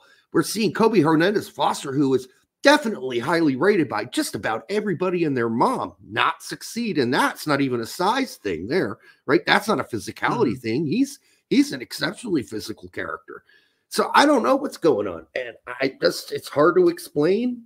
And maybe somebody needs to do some research on why this is an issue um, because it shouldn't be. Uh, by the way, speaking of that, um, who was it? Richie Ledezma um, is back with the U21s and played 90 minutes for them on Tuesday. So it's not a complete, I mean, complete disaster because Ledezma could work out, although he's had so many good injuries. Mm-hmm. I mean, I don't know, but uh, we'll see. We'll stay tuned. But there's something going on here. But maybe the other common denominator is the Clivens for some of them. I don't know for sure. But uh, yeah, it I is. think I think I think uh, for the most part it's, it's a it's a it's a size and physicality issue. I, I would think personally because I mean watching the watching these kids play at a number of uh, youth levels and stuff like that they have they have Mhm. they have the skills they have skills. Don't get me wrong. Yeah. But then there's, you I mean, you're generally playing. You're, you'll be playing against uh, uh, guys who've come up through uh, stronger academies and uh, are good, you know, three, four, five inches taller than you, just Right. muscling you off the ball, and all of a sudden, you know, like, well, we're gonna put this other kid in, and then all of a sudden you just fizzle out. I yeah, I mean it is, and this kind of happened to Freddy Adu too. When he was like 15, he stopped growing, and like you you look at there are other players this happens to, but like Alex Mendez never grew much after 15 years old. For that matter, either did um, either did a Ledezma or even Uli Llanez. They just like 16, 17, they were done growing as physically as as stature wise, and that's okay when you're playing other youth youngsters and they're about the same height you are. Then your technical skill is going to make you, you know, overcome. And the fact you don't have to overcome because you're physically the same stature. But those kids go on and keep growing. Uh, but then that doesn't really work for somebody like Efren Alvarez, who's a larger mammal, not just because he Twinkies, but uh, and Kobe Hernandez Foster, both who are physical specimens. At least Kobe is for certain. And so, yeah, it's hard to say why this isn't working out for certain players. I, I don't know. I wish I had an answer. I I mean, really even even then, once you're highly touted and you got the physicality uh, to back it up, um, even then, I mean, making it at that level is is uh, I wouldn't say a crapshoot, but it's a it's it's low it's low it's low numbers at that point. It's a low probability. It's So at that close to a point, I crapshoot. Yeah. So I mean, at that point, even though Kobe is a, you know a, a you know taller player who's highly touted, uh, uh, is Kobe the center back? Yeah. Scorpion Larry saying Kobe is a runt. I don't remember him being that small. I really honestly don't. Um, that could be false memories on my part, but I don't remember him being like five foot seven. I thought he he seems taller than that, than that to me. And I'm just going by, you know, watching him, you know, play on the pitch. So he could be taller or shorter. I don't know. I'm verifying real quick. Okay, we're I don't know- I verifying. don't know what the meat. Uh, What's that? that can be right. What? Uh, Transfermarkt has met uh, site is um one. I guess the comma is that more or less a period, but one comma seven three meter. What is it? 173? Yeah. Yeah, that's not tall. No, it's like five foot six. If that's true, God, he must he's a lot smaller than I thought he was. he's not. He can't be uh the center back. Then he's uh he's not a- midfielder, isn't he? He's not a, he doesn't come off. Or am, I thi- am I thinking of a different uh kid here? You might be. Who's the one that went to France that went from Orange County? Oh, that's Kobi Henry. Okay, that's what I'm thinking of then. Yeah, you've got them confused before. Happens. So- it's not gonna be the last time either, Derek. So BMR says that's about five foot eight and a half or five foot nine. So um that's not that small. Five foot Well- nine's not shrimpy dinky. I guess He's I don't not- know. I don't know if there's this, this thing, but I mean, That's that's that's not a runt. All right. Well, whatever. I, I don't Uh, know. I'm not getting into this. Oh, is he a runt or is he not? I'll just let it go. He's a Kind of- Kind of He's- is, yeah. If that's a- the case. He's a little runt. All right. What else we got? Wish we had the answers to all those. John J. Lapointe, who was supposed to come on our show, is the Paul, only person. Or Paul Jake J. John, Lapointe, right. only person that's ever canceled on us the day of the show, the night of the show. He didn't cancel. He had technical He- difficulties. So he said. So he said. John Cone, husband of Cindy Cone, has received, well, a quarter of a million dollars, it looks like, for from USSF over four years. Uh, is that more than a quarter of a million dollars? I no, that's just a quarter of a million. Okay. Just, about. It's a little over. I can't see where the period is, uh, Yeah. or whether that was a, a, a that was that comma. was a second comment. Then yeah, we'd be. really Yeah, it's like 200 Good lord. 260. Yeah. Um. Anyhow, uh, but that wouldn't work anyhow. The way uh, commas work. Prove me wrong that this is not a conflict of interest when another source could have been hired out for the same services. Who approved this transaction? Didn't you mention to me she's her husband's been there for some time though? Well, from what from what some uh some people uh defending USSF have mentioned on Twitter is that that uh John has been working alongside USS Soccer for like two decades. Okay. I don't I, know though. I don't know what he does though. I have no no clue. Yeah, but um, but yeah. I mean, I mean, conflict of interests are happening all the time in all walks of life, especially U.S. soccer. I mean, hell, we have Gregg Berhalter to prove that. Right. Listen, I'm sure there's even more of this, you know, buddy buddy shit happening in U.S. soccer, even though they not may not be related. Breaking the American soccer ecosystem is rife with nepotism and cronyism. what? What are you joking? No way, dude. Um, you know, I'm all for calling it out when it's an issue. I just don't know. later. Discuss that. Water is wet. That's uh that's the funny um Howard Cosell Super Bowl, whatever it was. We are here. No, Monday night football. It's been raining all day. And I have to say, it's been very wet. The rain has is very wet. No shit, Howard, really? he he used to drink though during the games. People don't know that. Like he drank through every game. He had a like a whiskey and whatever all game long. The whole, never stopped sipping them. All right. Uh, so yeah, okay, John, Paul. If you find some other stuff that's a little bit more egregious, let us know. Um, I mean, from what I understand, and I'm not giving them any excuses, but I believe he was there before she was there. So um, in that case, I don't know how nepotistic this is, but certainly has a little bit of. I mean, there's cronyism all over U.S. soccer, so this would not be a shock at all. And I don't think it's anybody and anybody's going to pay attention to it. I don't think. I think they're just like, oh yeah, that's shit. Just happens. That shit's happening all over the place. So I, I'd uh, hire my significant other too. yeah. Winston Churchill was drunk off his ass every day, too. That is true, Fumar. So those speeches where you hear him, they'll fight them on the ocean, we'll fight them in the sea. It's not just because he had like a lisp, right? He is drunk constantly. In fact, there's one guy's on YouTube that tried to take his drinking schedule, his daily drinking schedule, and do exactly what he did. And they were passed out by like four o'clock, right? They were done. 4 p.m. They were done. And Churchill used to drink way into the night, way longer into the night, Hmm. you know, and then wake up early. So some people can do that shit. Some people cannot. Um, I guess his tolerance level was really high. I just watched another video uh, about the history of Churchill by, I guess it's called his name's Tick, T I K. Anyhow, and the title of it is Winston Churchill was an idiot. Hmm.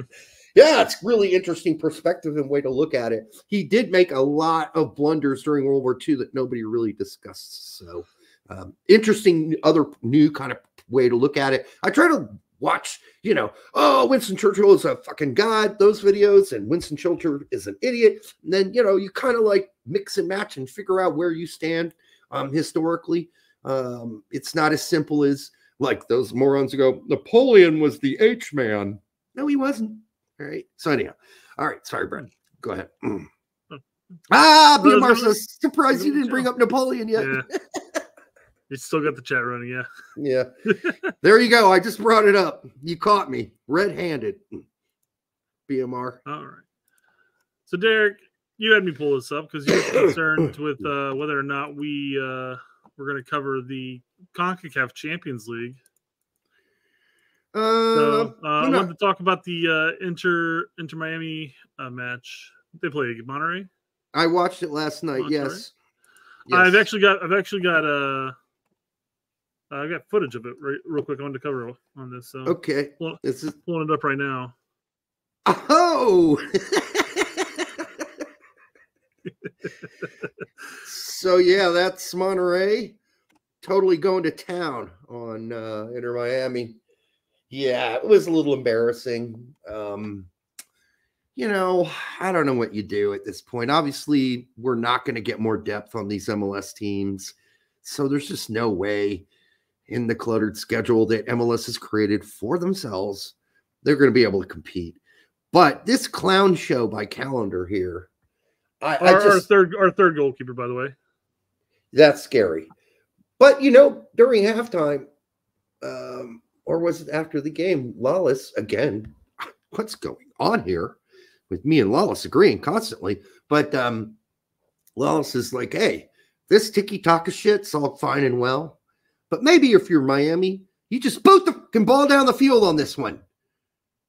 Eh, What are you doing? What why why are we doing this? This is there's no one open. And even if this pass does, by the way, get through to the player it was intended for, okay, and we'll play it in slow mo. Like that, what's he gonna do with it in that cluttered ass situation? You know? He's And he- receive it. I'm assuming that, is that who it's go- supposed to go to? Is that Yes, right. Now, first of all, that player, whoever it is, needs to be further to the right.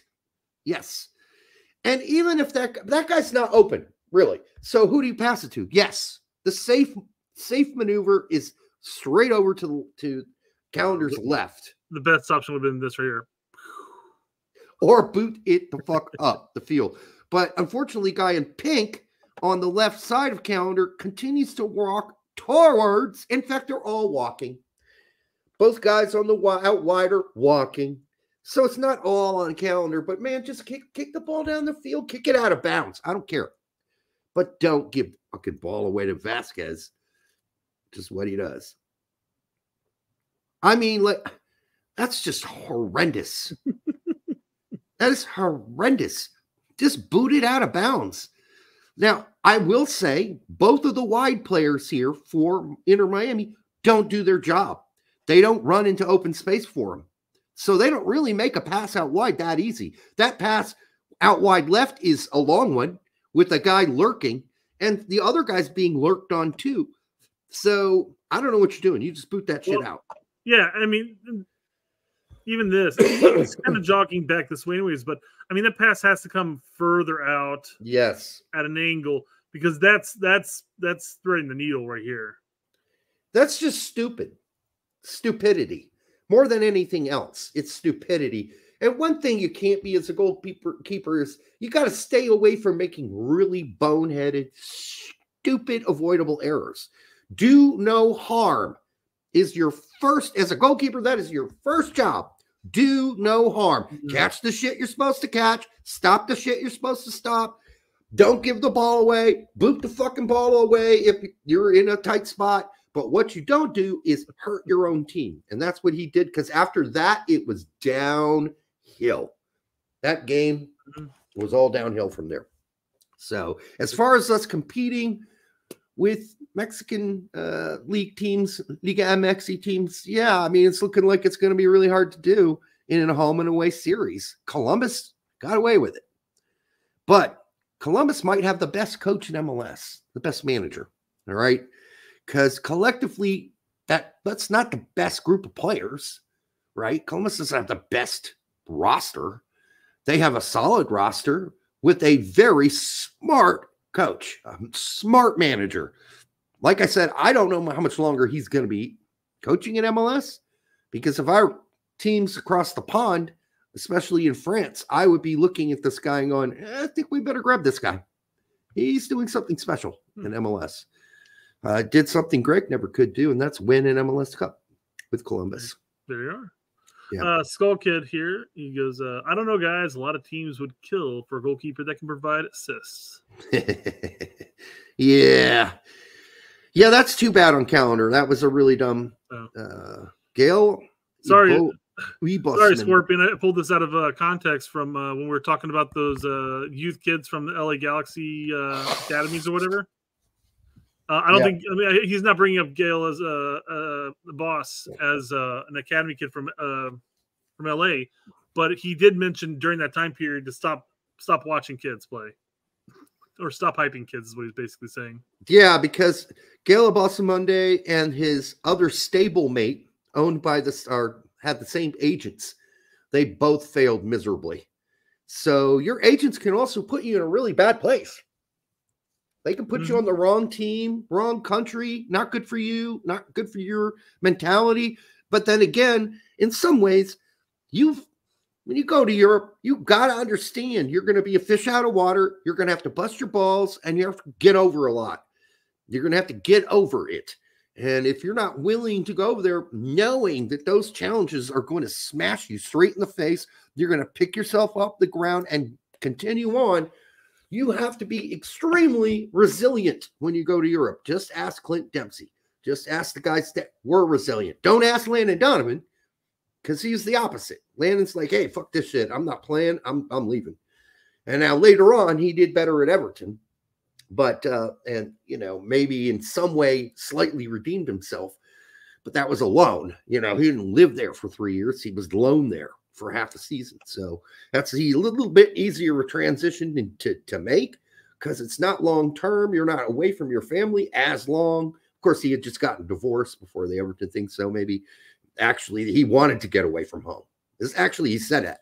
He, he was very honest about it at the Mhm. time. Uh, MLS Don Garber against staging league games in other countries. Yeah, of course he is. Why? Why wouldn't he be? Because with this new ruling by FIFA, all the Mexican teams can now have all these games played in the United States, just like all their national team games are played in the United States, Mexico. But Well, gonna- it's funny. It's funny you bring that up because uh, Seb also brought that up.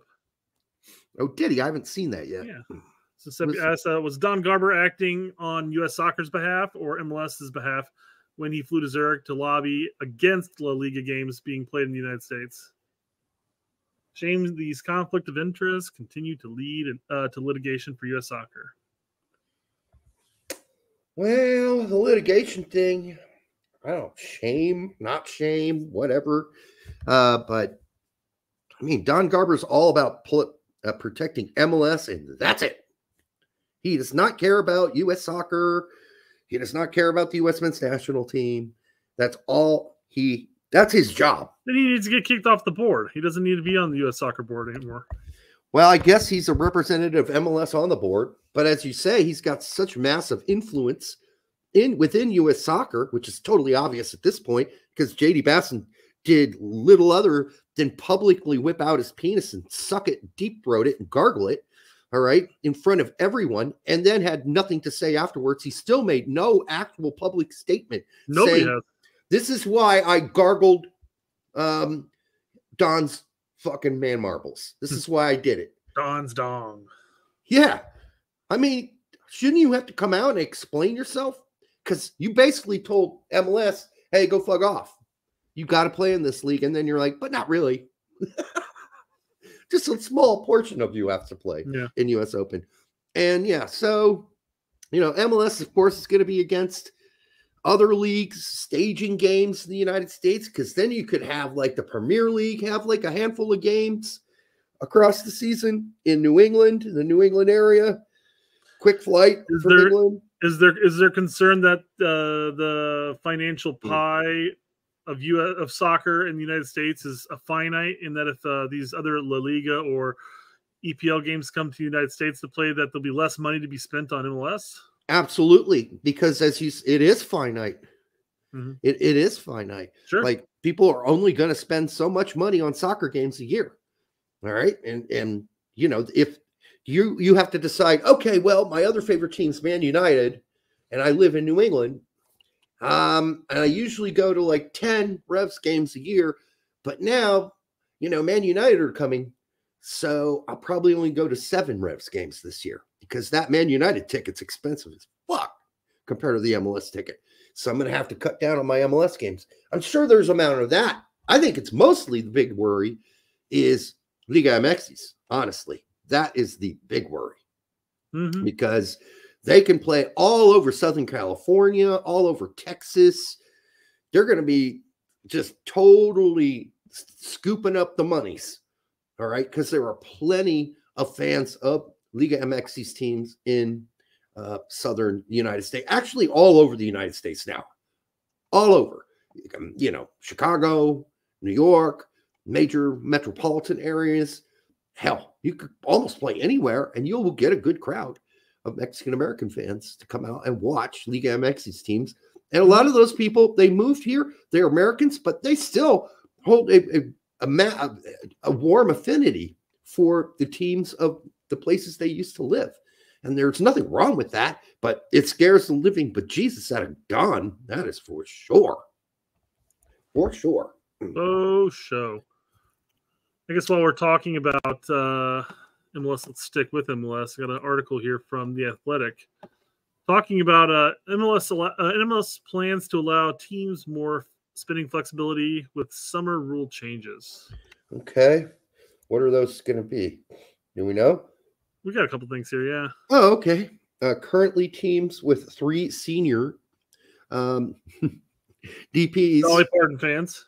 Dolly Partons can have just one U22 player. Teams with two senior DPs and only one young DP or a DP that can be brought down with targeted allocation money. TAM can have up to three U22 players. Jesus, right, man, knees.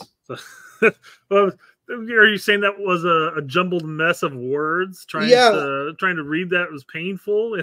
Yes, halfway through the the uh, statement, I just lost it. I'm just like, Yeah. what are we talking about? The word DP said five times in one sentence. Holy Oh, Jesus! man.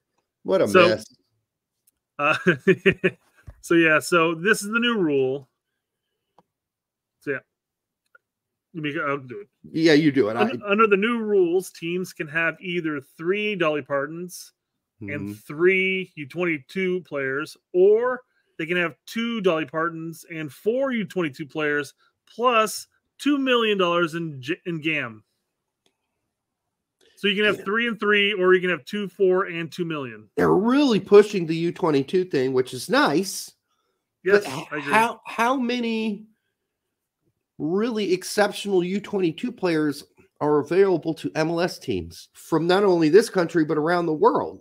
Probably not that many. I'm I'm sure you could pillage uh, some quality players from uh, South America and then aim to uh, sell them in a couple years. Isn't Riqui Puig one of those U22s from LA Galaxy?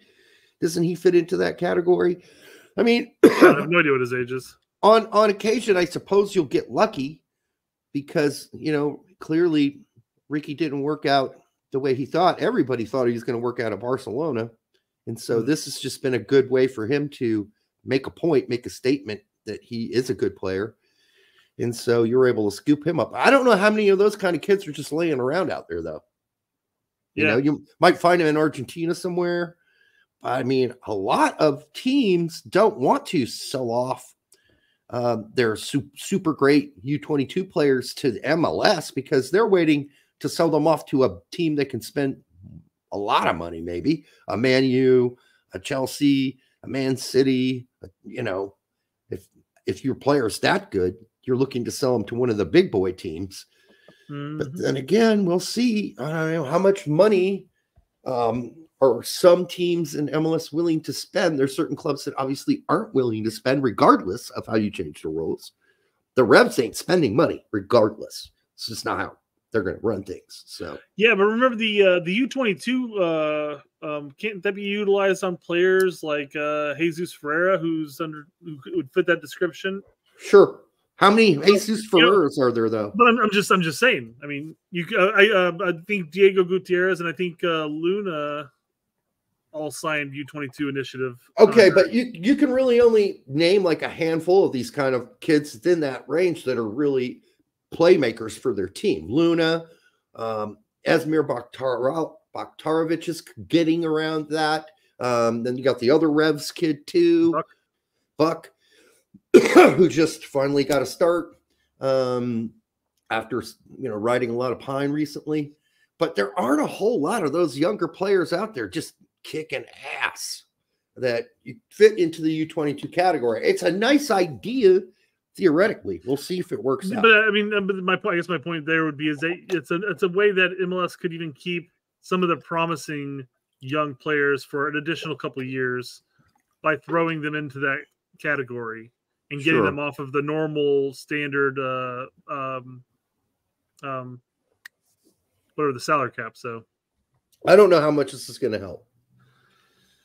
oh Um, no I think- the uh, uh, two million the two million gam is going to be pretty nice Yeah. all the uh all the uh, players and uh i mean you can uh trade who fuck who did we who did we end up trading off um we got like we got we got a Hmm. million gam from uh montreal from when we shipped off uh Djordje Mihailovic. Yeah. Gutierrez fits into this U22 scheme. that- yeah. So, I mean, there are certainly players out there you could name. Seattle has one or two um, that this will help. Are those players game changers? Well, certainly Gutierrez is. Um, I'm not sure all the young guys on Seattle have turned into game changers yet. So I don't know if this is going to help. Maybe if they were U23 or U24, but eh, that might give you a little bit more flexibility there, and maybe that's what we need because young players are young players are they're not a dime a dozen. I mean, they're you know players that can. Brian Gutierrez's aren't all over MLS. They just don't exist. So that's my as uh has the uh what's his name? Uh Cremaschi or whatever his name is for Inter Miami. Has he been playing this year? He's been injured. Oh, that sucks. Yeah. But that could be another one of those players that fit the bill. They could have used him last night, that's for sure. Because so. yeah, you got five players that are extremely competent, and then you know another six. You're kind of like, eh, never heard of that one, never heard of that guy, never heard of that guy. So, uh, I mean, to the point where they had to get rid of Yedlin just to make the cut uh, of the salary cap. Yeah, yeah, that's not good. All right, uh, well, uh, oh, I got to read another slide. Under current, you got this one. I'll get the next one. all right, under current rules, MLS teams can convert up to 1.2 mil of any transfer loan revenue into general allocation money. Under the new rules, teams will be able to convert up to 3 million per year in transfer or loan revenue into GAM. I mean, it's a better. This is way better, right? More Um, gam. It's more money equals maybe the possibility to build more depth. But frankly, I think that teams should be able to spend all of the transfer money that they take in. It's like MLS, you take your cut, I'll do whatever the fuck I want with my cut. Yeah, if I I just earned 12 million dollars in this last transfer window, I should be able to spend every fucking penny of it I Yeah. want to because it's obviously money that my academy and my team has earned. Why are you telling me I can't spend it? That's bullshit. Well, I, I don't get that. Let them spend it all. I, I I I don't know if you heard me do my aw when you read that dollar amount Mm-hmm. because you you you you abbreviated it down. I really wanted you to go one million two thousand two hundred thousand and fifteen five oh six and like what a what a very specific number. First It- off, I don't even. like, what yeah. what one you know one point two. You could easily just say that, but it's like that's one million two hundred and fifteen thousand five hundred and six dollars. Frankly, it was so ridiculous. I'm like, I'm not reading that. That's so stupid. Why is it that number anyhow? Yeah. Why don't we put the cents on there too? 506 and 33 cents. Yeah, yeah, exactly. It'd be one. It'd be one thing if there was a percentage, like it's uh thirty. You can you can transfer thirty percent of the use thirty percent of the transfer fee as a as GAM. Then that makes sense. You come up with such a weird number like this.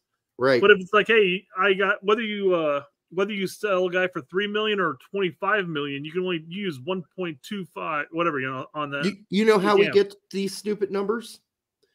We get to these stupid numbers because assholes like Kraft sitting these meetings argue with the other owners, like the Seattle owners, who want to spend as much as possible. And they go back and mm. forth and back and forth and back and forth.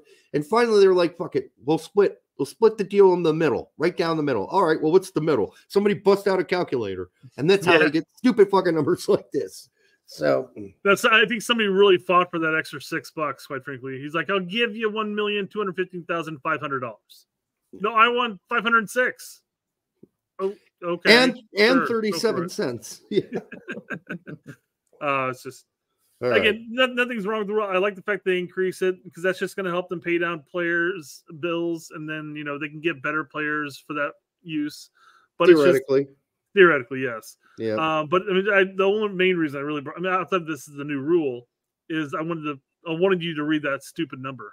Mm. Okay. I didn't do Uh, it. MLS will increase the number of contract buyouts available from one to two per season per team. Huh. So now teams can uh teams can fuck up and you can buy out two of those contracts so you can get them off your. Yeah, yeah. Yeah. Apparently, Okay. apparently some apparently some people are pissed about this rule because it kind of gives uh the teams who want to spend a lot of money uh you know buy out, you know, a chance out. We're not the teams who don't want to spend a lot of money will just ride it out. Yeah. I mean, is is is Shaqiri really worth eight million? Is he really? I mean, I mean, wrong. that- He's he's pretty. He's, he's he's he does he does some decent stuff from time to time, but I wouldn't say he does much more than what Guti brings. To the I don't know why there's a limit to buyouts in the first place. If you wanted to, you should be able to buy out every player contract that's on your goddamn roster because that would be in the agreement between you and the team. It would be in their contract already. It's already agreed upon. So if you have six players on your team with buyout clauses and you want to get rid of all six of them because they just played for a season and they were god awful, mm-hmm. then you, you should be able to buy them all out and say, here's your money. Now go away. I don't understand. That's just usual the way shit happens in other leagues. Why is it limited to two? What it, that's such a weird limitation. Yeah. Such a weird, just weird shit. All right. But they, they doubled the number of buyouts. So that's nice, I guess. yeah. We better get off MLS before people stop watching this show. Mm. we got to educate. We got to educate, guys. Despite Uh, this his U.S. men's national team brilliance, Gio Reyna has started hasn't started a game for Nottingham Forest. Now, I will say this is this article came out probably just after the U.S. Uh, uh, Nations League Yep. because they, they use phrases later on in the in the uh, article talking about how there's like eight games left. Of course, now there's only six games left because they played Right. two games within a short window. Right. Um, but yeah, so it's, it's not necessarily dated, but it's a little, it's like a week or so old, I'd imagine. Let's just see, March 28th. Yeah, about two weeks. Okay. But um, there's not a whole hell of a lot in this article. I, I do have a couple slides, obviously, but um, I really wanted to talk about the last slide, and that's one leads up to the last one. But yeah, so Okay. here's uh here's Gio talking about his time at Forest so far. You know, says uh, it's the adaptation period uh, in the Premier League, and then I was actually uh, then I was actually not available for a few games through sickness. So yeah, I hope so. I hope so. Was, think that's how he actually spoke? Yeah, I, hope so. I hope so. It's good Uh, to get minutes here and back at Forest. We have a really important eight or nine games left. Now there are only six. Yeah. But this thing Even, about even more important. what is with him and the flu? He gets the flu a lot.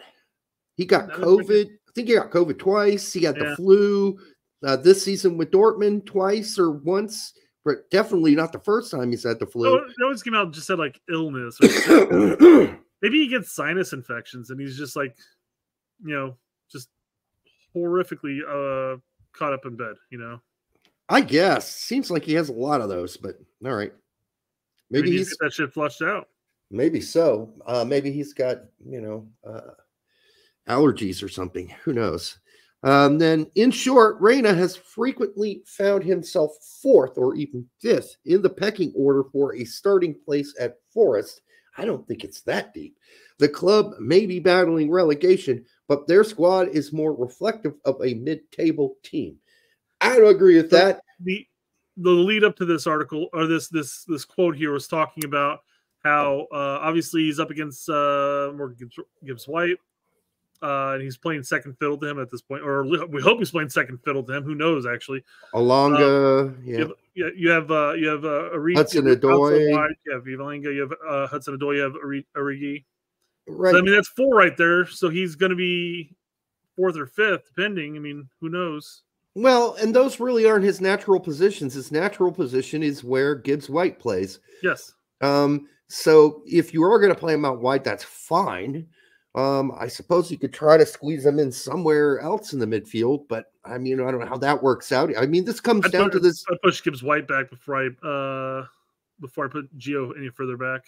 but you know, Gibbs White is go good going forward too. Mm-hmm. It's not like he's poor, and it isn't like they're not scoring. It's not like their offense sucks. Their defense sucks. Yeah. And um, so if you're Nuno, and we said this last show, you're not going to fuck up your chemistry and dump a new player in, you know, into the pot, if you will, the and stir them around and and hope things don't get fucked up because mm-hmm. you can't afford to fuck up at all at this point. You're near the bottom of the table after the point penalties.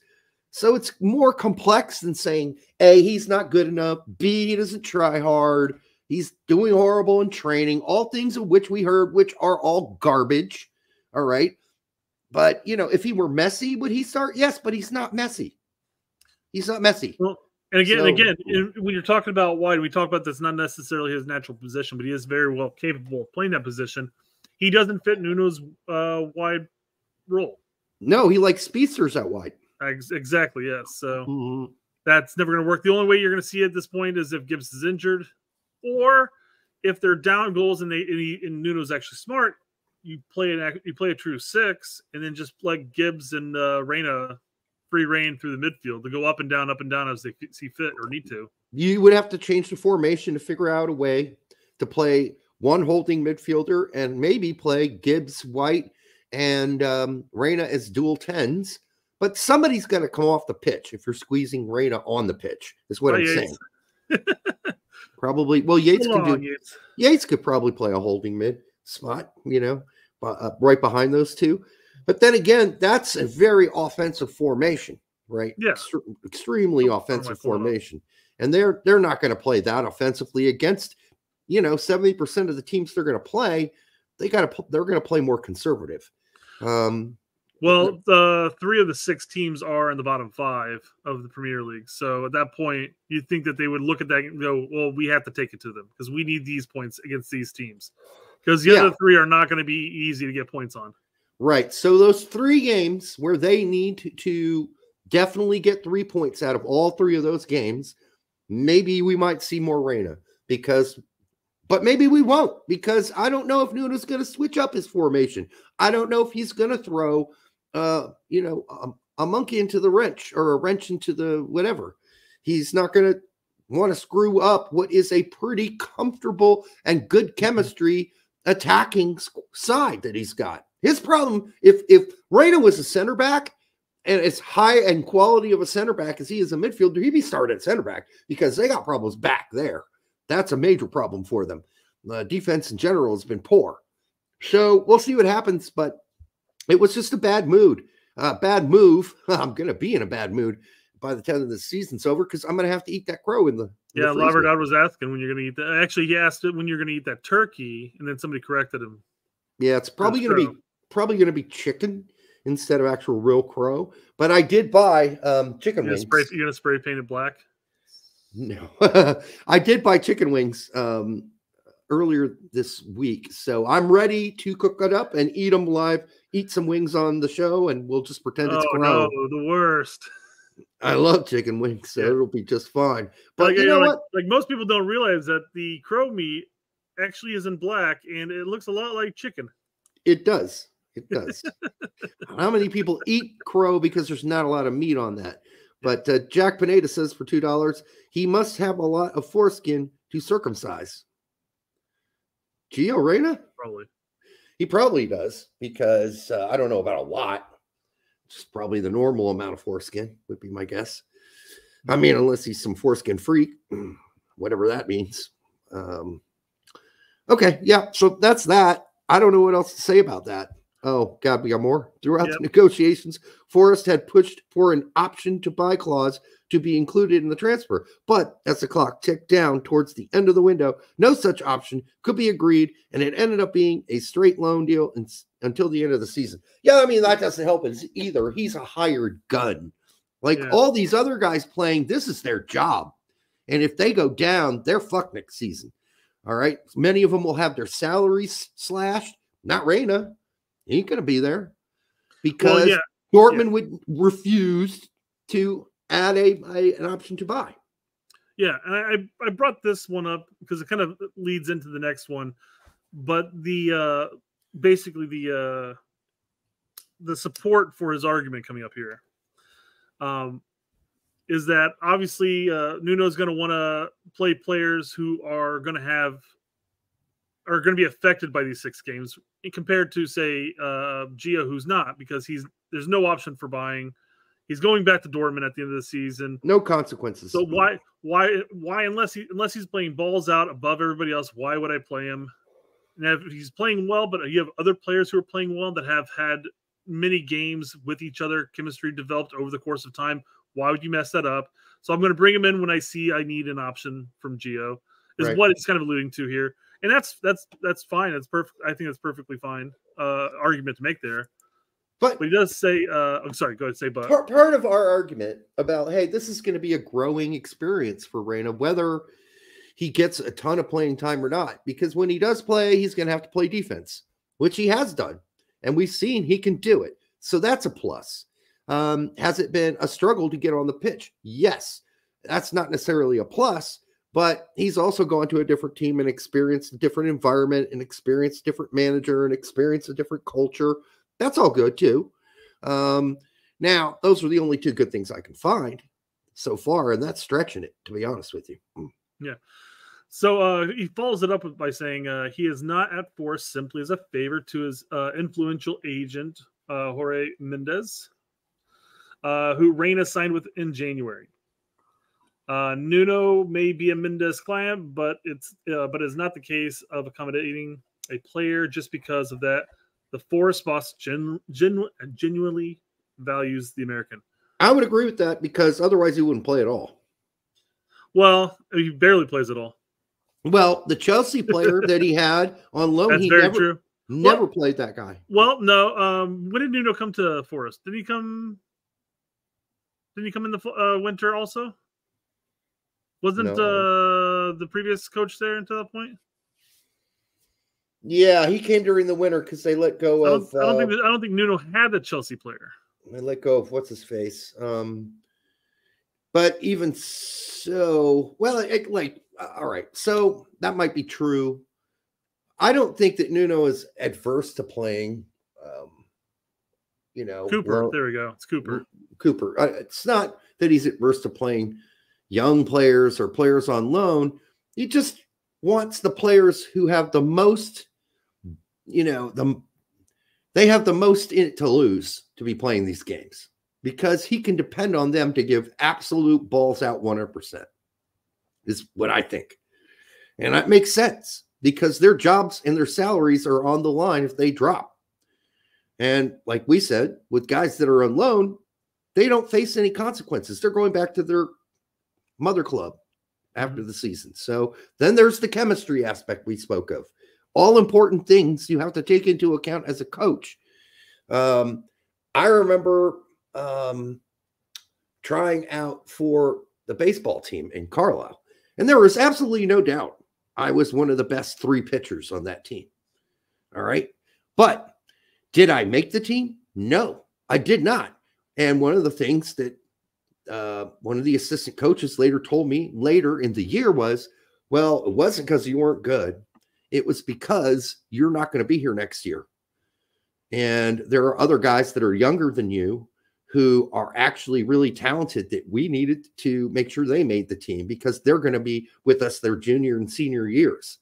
And so we couldn't afford to bring you on the team when we knew you were gone in one year because the academy at Carlisle, by the way, where my dad went, which is the U.S. Military War College, is a one year college program for lieutenant colonels and colonels who are going to become generals. So they knew I was gone. In 11 months, I was gone. And so they're like, we're just got to be real, dude. Got to be real. They didn't tell me this until way later in the season because the guy was also a PE coach. He's, you know, and I asked him, I said, why did I make the team?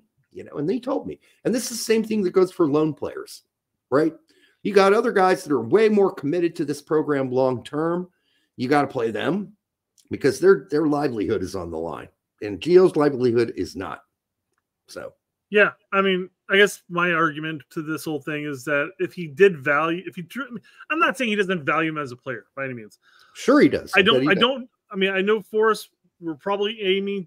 I don't know how much of it was Nuno and how much of it was like the Force uh, organization as a whole. We're probably trying to get him on a, with an option to buy because he is a promising player. Right. Um, but it's again, if if he really did value the player, and he's a very uh, he's a very creative minded midfielder who has pretty you know pretty hundred almost hundred percent. 99% uh, passing accuracy so far this season for them, which isn't a whole hell of a lot because he hasn't gotten a lot of playing time, of course, but he still does complete all of his passes. Right. And creates opportunities from time to time. Doesn't lose the ball. And you're down three to one with 20, 30 minutes left. Why are you not bringing him in sooner? Yeah, that made no sense. So that made uh, no it's, sense. it's it's stupid. It's the FA Cup. and you continue to play the same the same well, I guess about nine out of the eleven players you normally play in a game who really doesn't matter when you're really trying to stave off relegation. They knew they're probably going to lose points.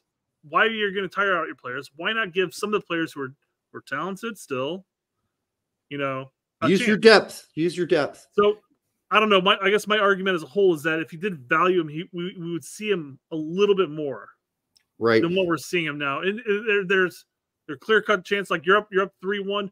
Do you really need to bring Rain at, at that point? You need to close out the game, but then he gets the most playing time in that match. Yeah, that was weird. So I I, I don't know what to think at this point. I don't either. It seems like contradictory. Also, the other the other positive I would say before we leave this topic is Yeah. at least he's not been injured and gotten injured. Because remember, that was one of the big points everybody's making. Oh, he's just gonna get hacked. He's injury prone. That is the argument we had with Tack. And that hasn't happened so far. He hasn't gotten clobbered. People don't realize this is not a small guy. He's six foot one. He's rather muscular. He's well built. He's not being pushed around. No injuries. So far, fingers crossed, knock on wood. Okay. But I'm still going to eat crow because I thought it was going to be better than this. I honestly thought he was going to get 30 Here's minutes gonna a game. You're gonna eat Crow, and then all of a sudden he's gonna start for like the final four games and keep him up. No, like, I'm not- successful. I'm not eating crow until the season's over because if Oh, he he plays 30 minutes in the last six games, he averages 30 minutes, 25 minutes a game in the last six games. I'm going to consider that a success, honestly. Hmm. But he's got to be like 25, 30 minutes a game. If he gets like five minutes here and 10 minutes here for the rest of the season, yeah, I'm eating crow. I'm going to eat crow. So yeah, MG, uh, MGW did get injured in the last match, and Reyna did not come on at that point. That's what was weird. Yeah. Um, so he came. no- Gibbs was White came no- out, but he's also not on their current uh, injury list either right now. It So- wasn't anything serious. He also looked tired. He got a small knock. He'll be back. He'll be back, is what I'm saying. So I don't think that. Yeah, it was weird though. Fumar's right. He should have come on then. That's when I thought, oh, they're taking Gibbs out. Yeah, that's the spot he's vying for, right? Surely Raiders coming in now. They're down. They need to score goals. Your your most aggressive offensive tactician on the field is coming off. You replace him with your other next best tactician. Nope. Although I'm not saying Dominguez sucks balls no. or anything, but I'm telling you that's Reyna. That was supposed to be Here you Reyna go. there. This this is actually this is actually a good argument for it. Uh, I'm going to go through a couple of a couple of them here. So Nuno is trying to stave off the flow goals, uh, which is why he put Dominguez on for goal difference because that matters in the table, and that's a very good point. That is a very good point. And I, I, mean, guess bring in if- bring in Gio against Tottenham. Do you think? Uh, do you think it'd be better to stave off the number of goals being leaked, or Boy, that's- potentially score goals at that point? That's a really negative way to look at it if you're Nuno. Like that's a super negative way. Like you don't think that if so basically Nuno said to himself, what's more likely to happen? We're going to give up more goals or we'll score one goal and cut the difference.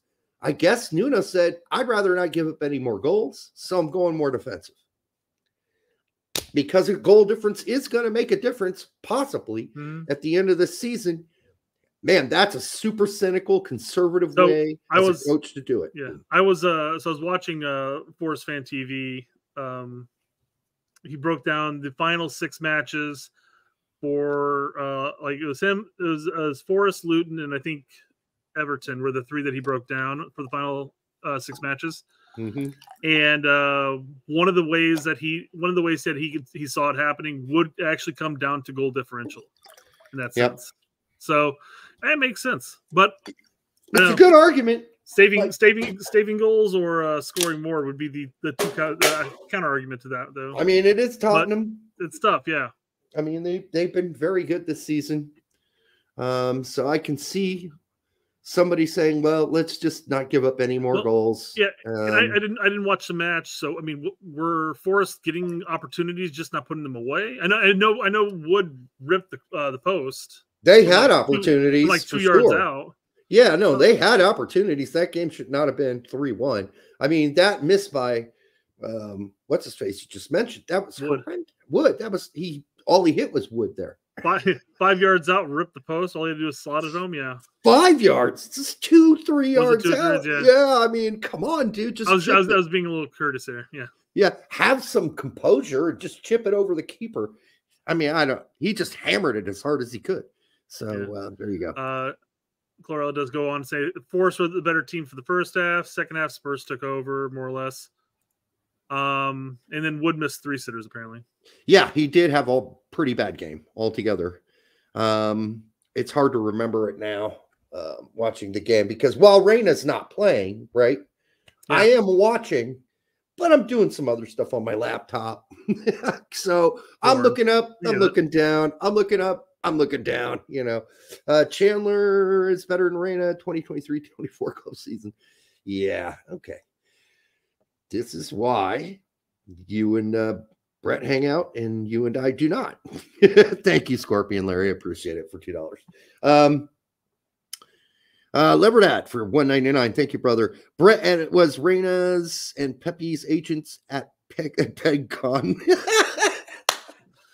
Like I said, uh, like I said on Monday's show, man, it was dark there, so I'm not sure.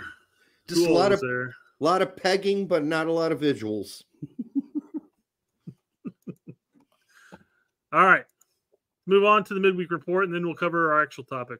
Yeah, midweek report's going to be really short because Tuesday, Reggie Cannon was in the 18 with QPR, didn't play. As I said before, Reggie Cannon and QPR, those teams are done with each those team and the player are done with each other.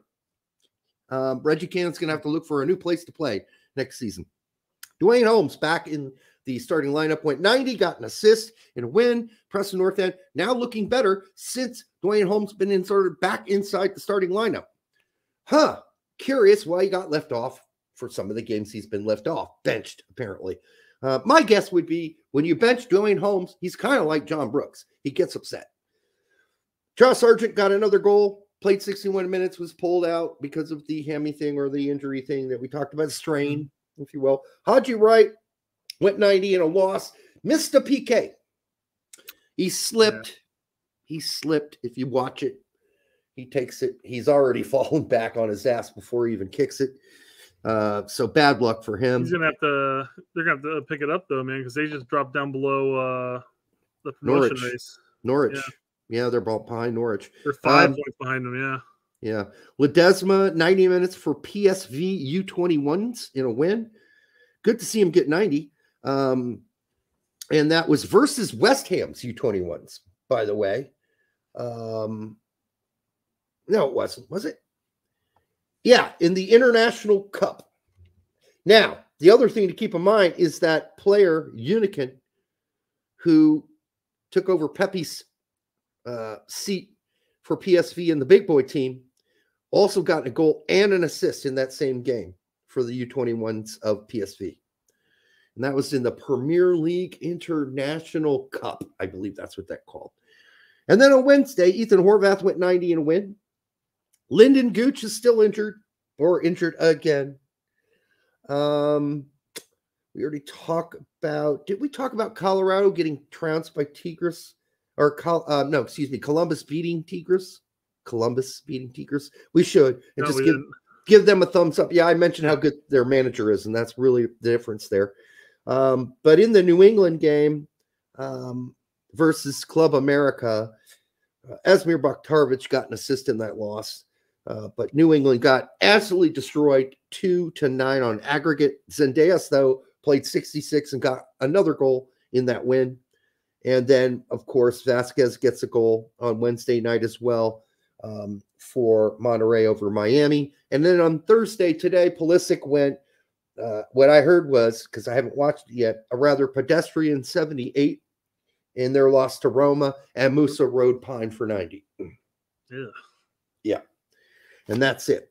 So now it is time for the part of the show where we talk about grading, rating, rating players, club experiences this season, overseas and abroad. What does that look like? Um, who had a good one? Who didn't? Who gets an So- A? Who gets a Yeah, I was B? say, so we're officially giving grades now. My big question is, what what's your standard for grading? Are we are, are we going are we going for the public school grading scale in uh, California? That'd be really easy, wouldn't it? Yeah. across the board, everybody. Yeah, I'll get an A. Eighty-four You want an A? percent. That, that's a C for me. That was a C in my grading. It was a C for me too. Yeah. Wow. 84% is an A now? 64% is B. That's a failing grade everywhere. Yeah. Back when I was a kid, and 44%, you just got the dunce cap.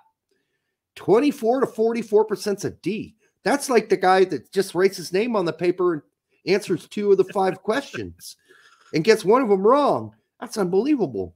Wow. So BMR wants to know 84 is a C? Yeah. Uh, so an A. It was an in A- our day and age. An Yeah. A for me was uh, 100 through 95. And then 94 through 86 was a B. Then, or 87 was a B. 86 to. Um, I don't know. I never got a C, so I don't know. So, so here's the thing. I went to three different high schools. All of them had different grading systems. But the easiest one I had was Carlisle, Pennsylvania, Carlisle High School, the Thundering Herd. Um, and um, that was 100 to 90, you know, was A, well, A plus, A minus, or A plus, A, A, A minus within that 100 to 90 range. Then 90 to 80 was a B. Then uh, C, obviously you're following this 89 uh, to 70 was a C, 69 to 50 was a D, blah, et cetera, et cetera. You get the idea there. So, um, yeah, it's just this is a lot easier.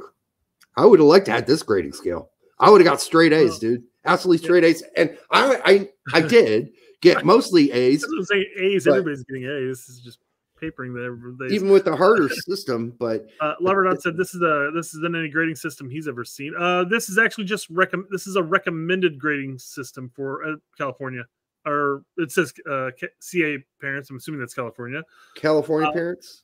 But yeah, so it's it's a recommended grading standard. Oh, so it okay. hasn't been approved yet. So Okay. no, as far as I can tell, I don't know when this actually was out. This hell, this could have been this could have gone out. Uh, this could have been live on Dr. Phil last Ye- year. Maybe it's maybe it's legit now. Who knows? Could be years old for now, but I don't Yeah. think any school system's going to adopt this. But no, no, this is not our grading scale. No. oh my Our- lord. Yeah. Think of A as in, you know, excellent, B is in very good, C is in average, D is in less than average, and F is in failure. And then you got the I for incomplete, right? Mm-hmm.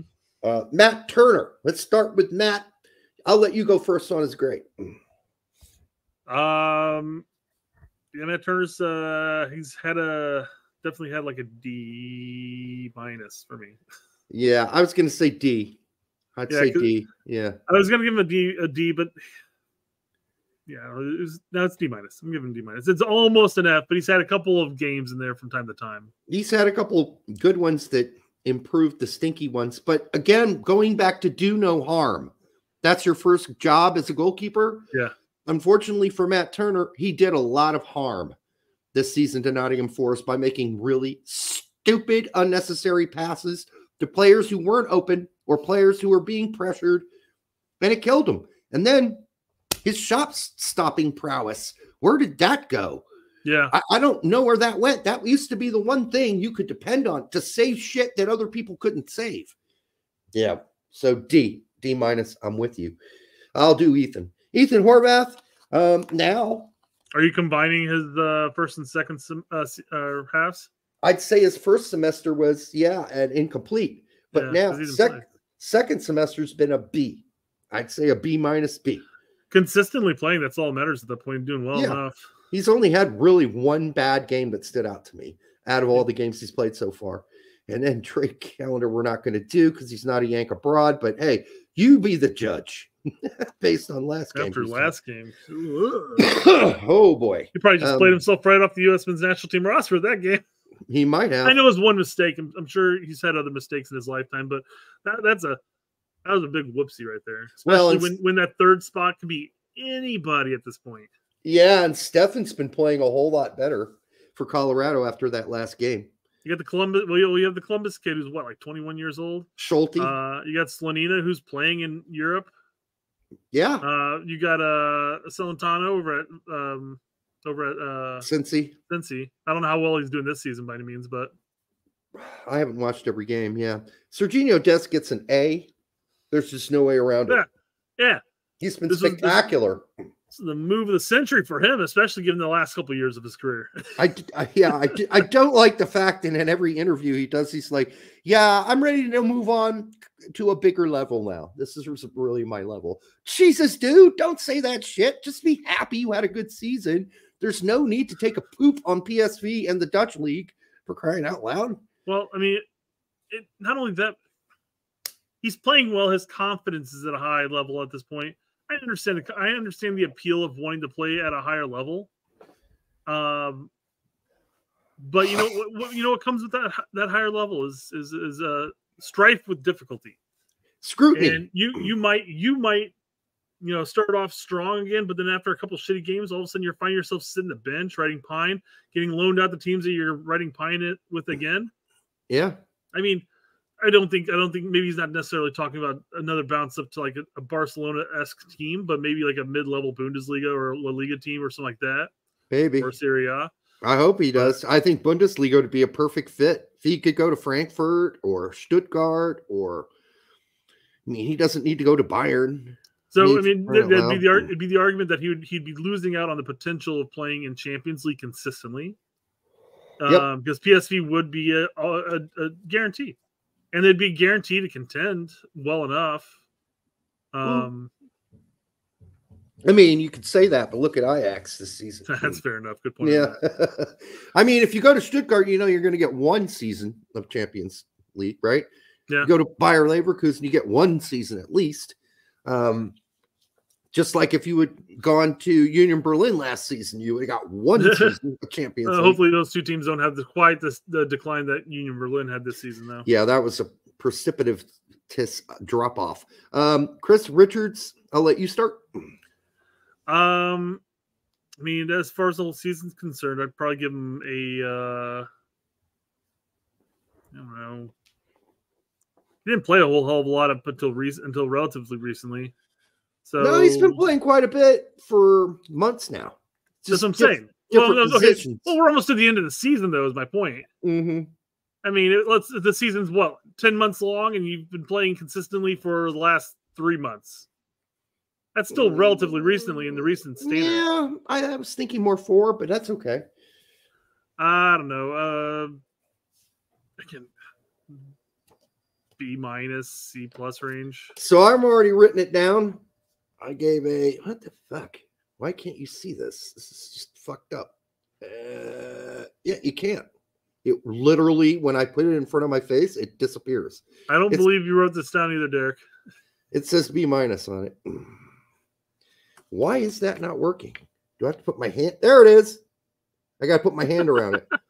B minus. All right. Uh, I'll start the next one.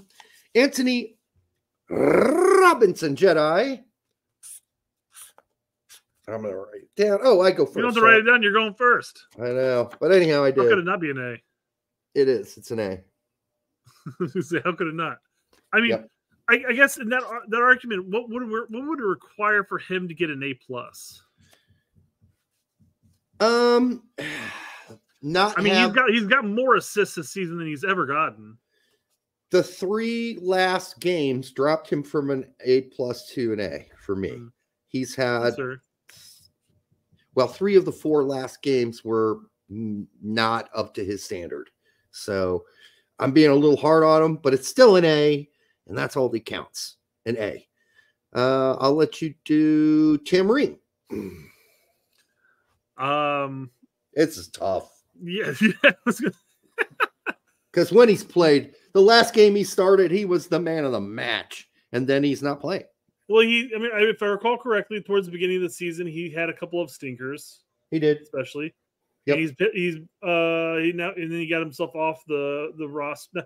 Did he did he did he play himself off of the uh, starting lineup or did he get injured and then somebody else came in and played better? Wasn't it? Bingo. Yes. So the Tosin and Bassey CB lineup was so good for a while. It's like once Ream was back from the injury, it's like, nah, I can't really, I can't put you on, buddy. Sorry. But now the last three of the four last games, that Tosin Bassey um, setup not looking as good all of I, a am sudden. gonna, I'm gonna give my grade scale, and I'm gonna ask a question after this. Go ahead. Uh, so I'm gonna go B minus. That's fair. That's fair. I went. uh Somebody's making a racket up there. I went with C plus. Yeah. Okay, so um, my my question here is on situations like that where a player was a starter, gets injured, and then a player comes in for him and starts balling, and Ream doesn't get his starting spot back. Is that really a downgrade on Ream? On his on his uh, Well- season performance? No, because the one game that Ream did start since that, he was marvelous. I mean, he cleared everything off the line. He was a it's a great game. This is probably a month ago, and um, I thought he might have just won his spot back, but no. Hmm. So I, it's the, that one's a really hard because it's out of his hands in many ways because the uh, Tosin thing was so good. So we'll see what happens there. Um, since it's not going as good now, at least three out of the last four games. Uh, Mark McKenzie, it's kind of a hard one to grade too, but I'll go first and give him a B minus um, or a B. I'll just give him a straight up B. He's been okay for Genk. Genk's problems aren't really the back line. And their problems are their lo- they just keep losing players. Like every window, people are scooping up all their players. They just lost Paintsil to Galaxy, one of their best players.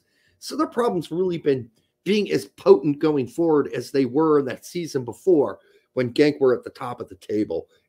Now they're not that team anymore. They're not a dominant team in Belgium. That's not all on him, but he has had some games where he thought, "Meh, that was not a good game.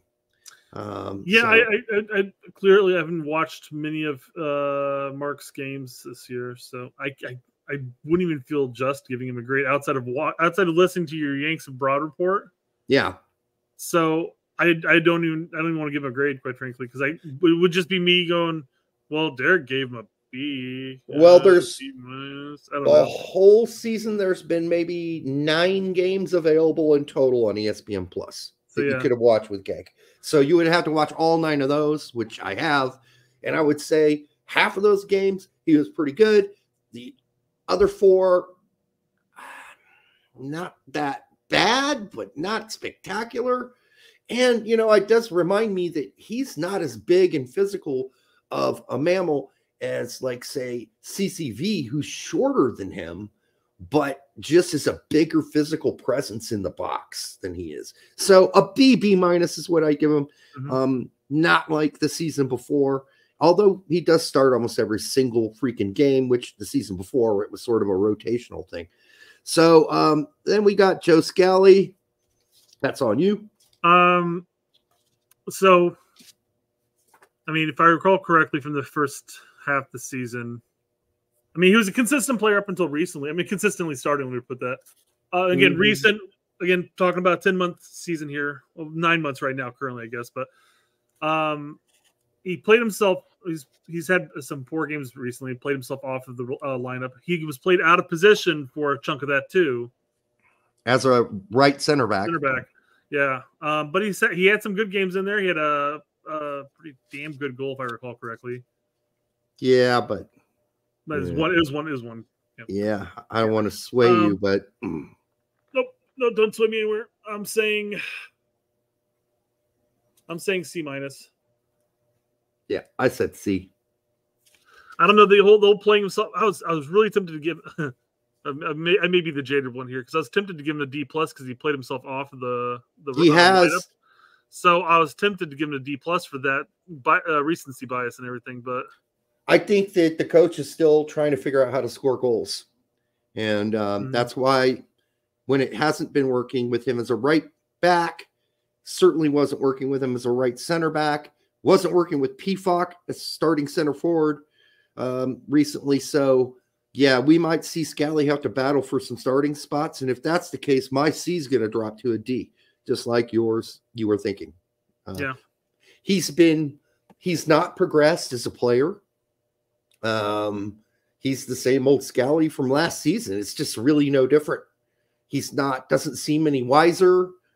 Um, although, yeah, he's been put in more tricky situations where he's played out of position. I guess you could say that Mhm. right center back is technically not something he should be doing. But when your team's trying to figure out a way to win games, they're probably going to try some different shit, and you got to be able to adapt. And I'm not sure he's done a spectacular jo- job of adapting and like really standing out. Like he doesn't stand out. He's just kind of on the pitch, and you kind of live with that.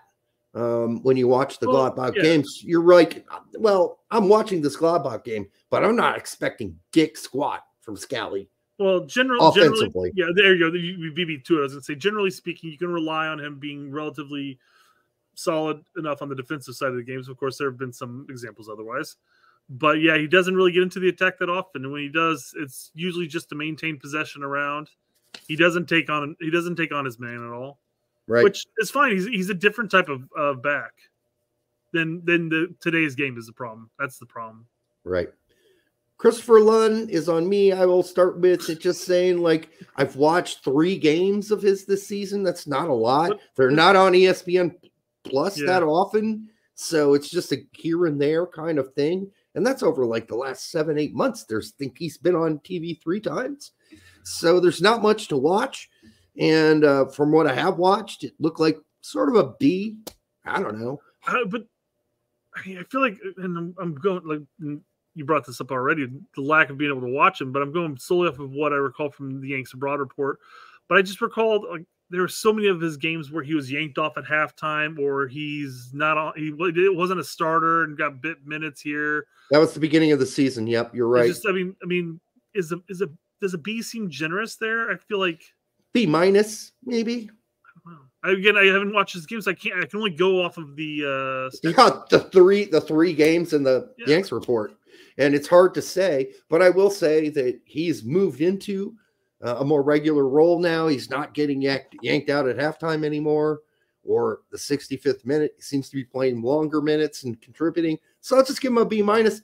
And as you say, it's really hard to watch those games. It's hard to, I don't know. I'd have to buy some illegal feed to watch all of those games. But Um, so far, I've only watched three in a in eight months.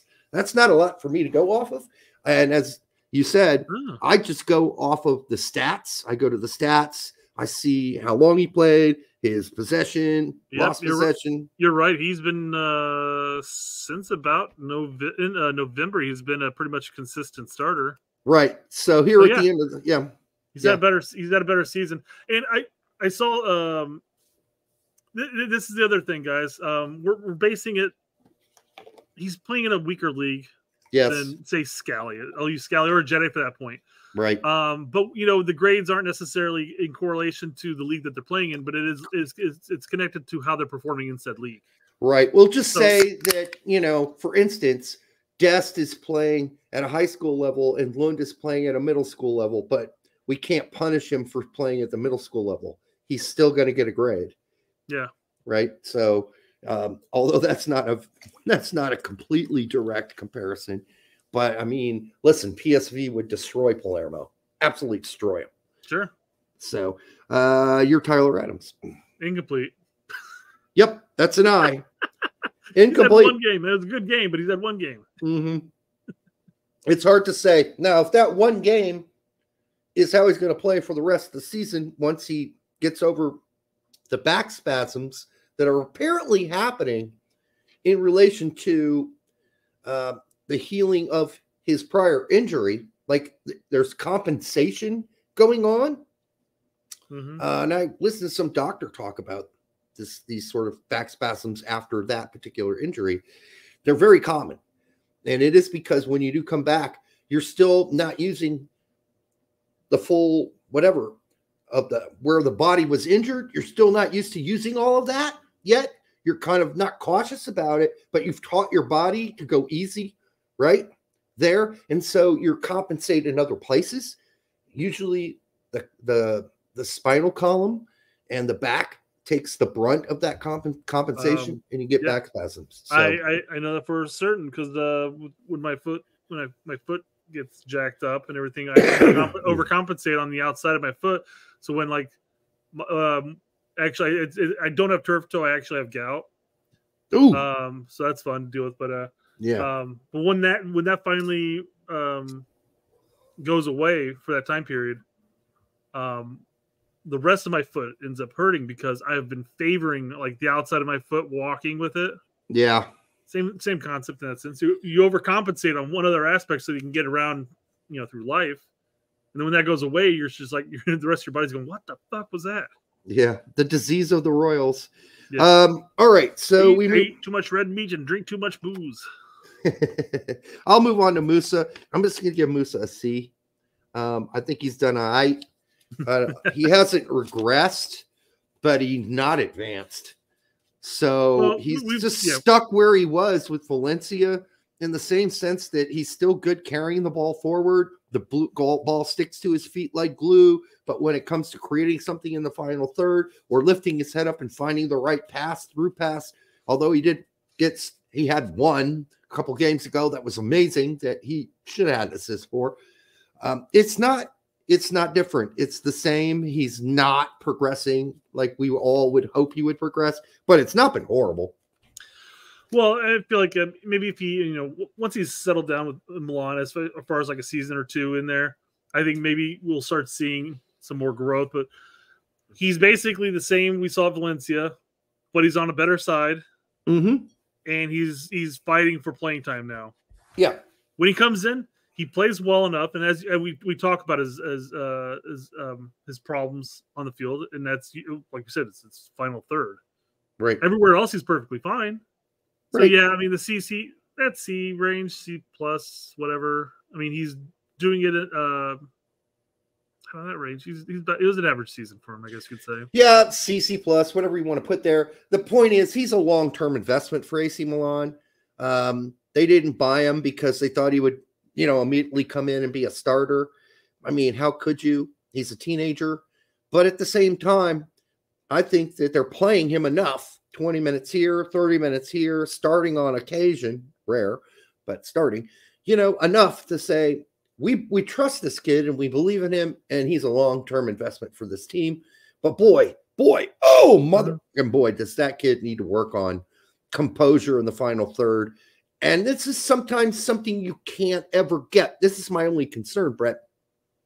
Creativity is almost a God given talent or some sort of transcendental given talent. I don't want to say God because some people don't believe in God. And then we have this whole discussion about God and blah, blah, blah, blah, blah. blah. Okay. But it is something that you sometimes innately have or you don't. It's really hard to teach creativity. And it is something that lacks in his game. Now, could he get more wise? Could he, to his soccer IQ increase so he could get better at finding those moments? Yes. But Mhm. is he ever going to be Gio Reyna? No. Yeah. It's not. Uh, whose turn is it? It's me. Okay, Wes. No, Giovanni Reyna. oh, Reyna. Mm. Incomplete. Mm. I'm sorry. You're giving it. You're giving him an incomplete. I am right now. Um, It's don't know. either that or a D. It's a D or an F, or it's incomplete. Like didn't get the chances. I would, I would, I would, I would say it's a C minus, quite frankly. Uh because What? here's here's the thing. Here's the argument. Okay. All right. He was he's he was playing using last season as a comparison. He came on as a super sub. Mind you, he produced. He had a great he had a great second half of that season because the first half of the season he was still recovering World Cup, etc. Doesn't count. First uh, first half he was recovering. No, last season doesn't count. We're only judging this season. No, no, no, no. I'm using it as a key example of saying that he still got the bit, he still got the super sub minutes, but he's not producing. So he, I would say he's regressed as far as those compare that comparison. Hmm. Now, mind you, he goes on, he goes on, he's he's fine on the pitch. I think he's good. Uh, he needs he needs more chances, quite frankly, to produce. Right. Yeah. I think I think last season was kind of uh um lightning in a bottle for him. You know, coming back after not having played for almost two years. Yeah. Yeah. So I, I think, yeah, that's why I almost want to give an incomplete because I don't feel like. And then you could just give him a shitty grade for not making an impact when he has gotten those minutes. Um, So it's hard to say. So for me, it's either a D or it's an incomplete. And you Yeah, could stick- bring. I'm sticking with C minus. He's got he's got to take advantage of those minutes he gets.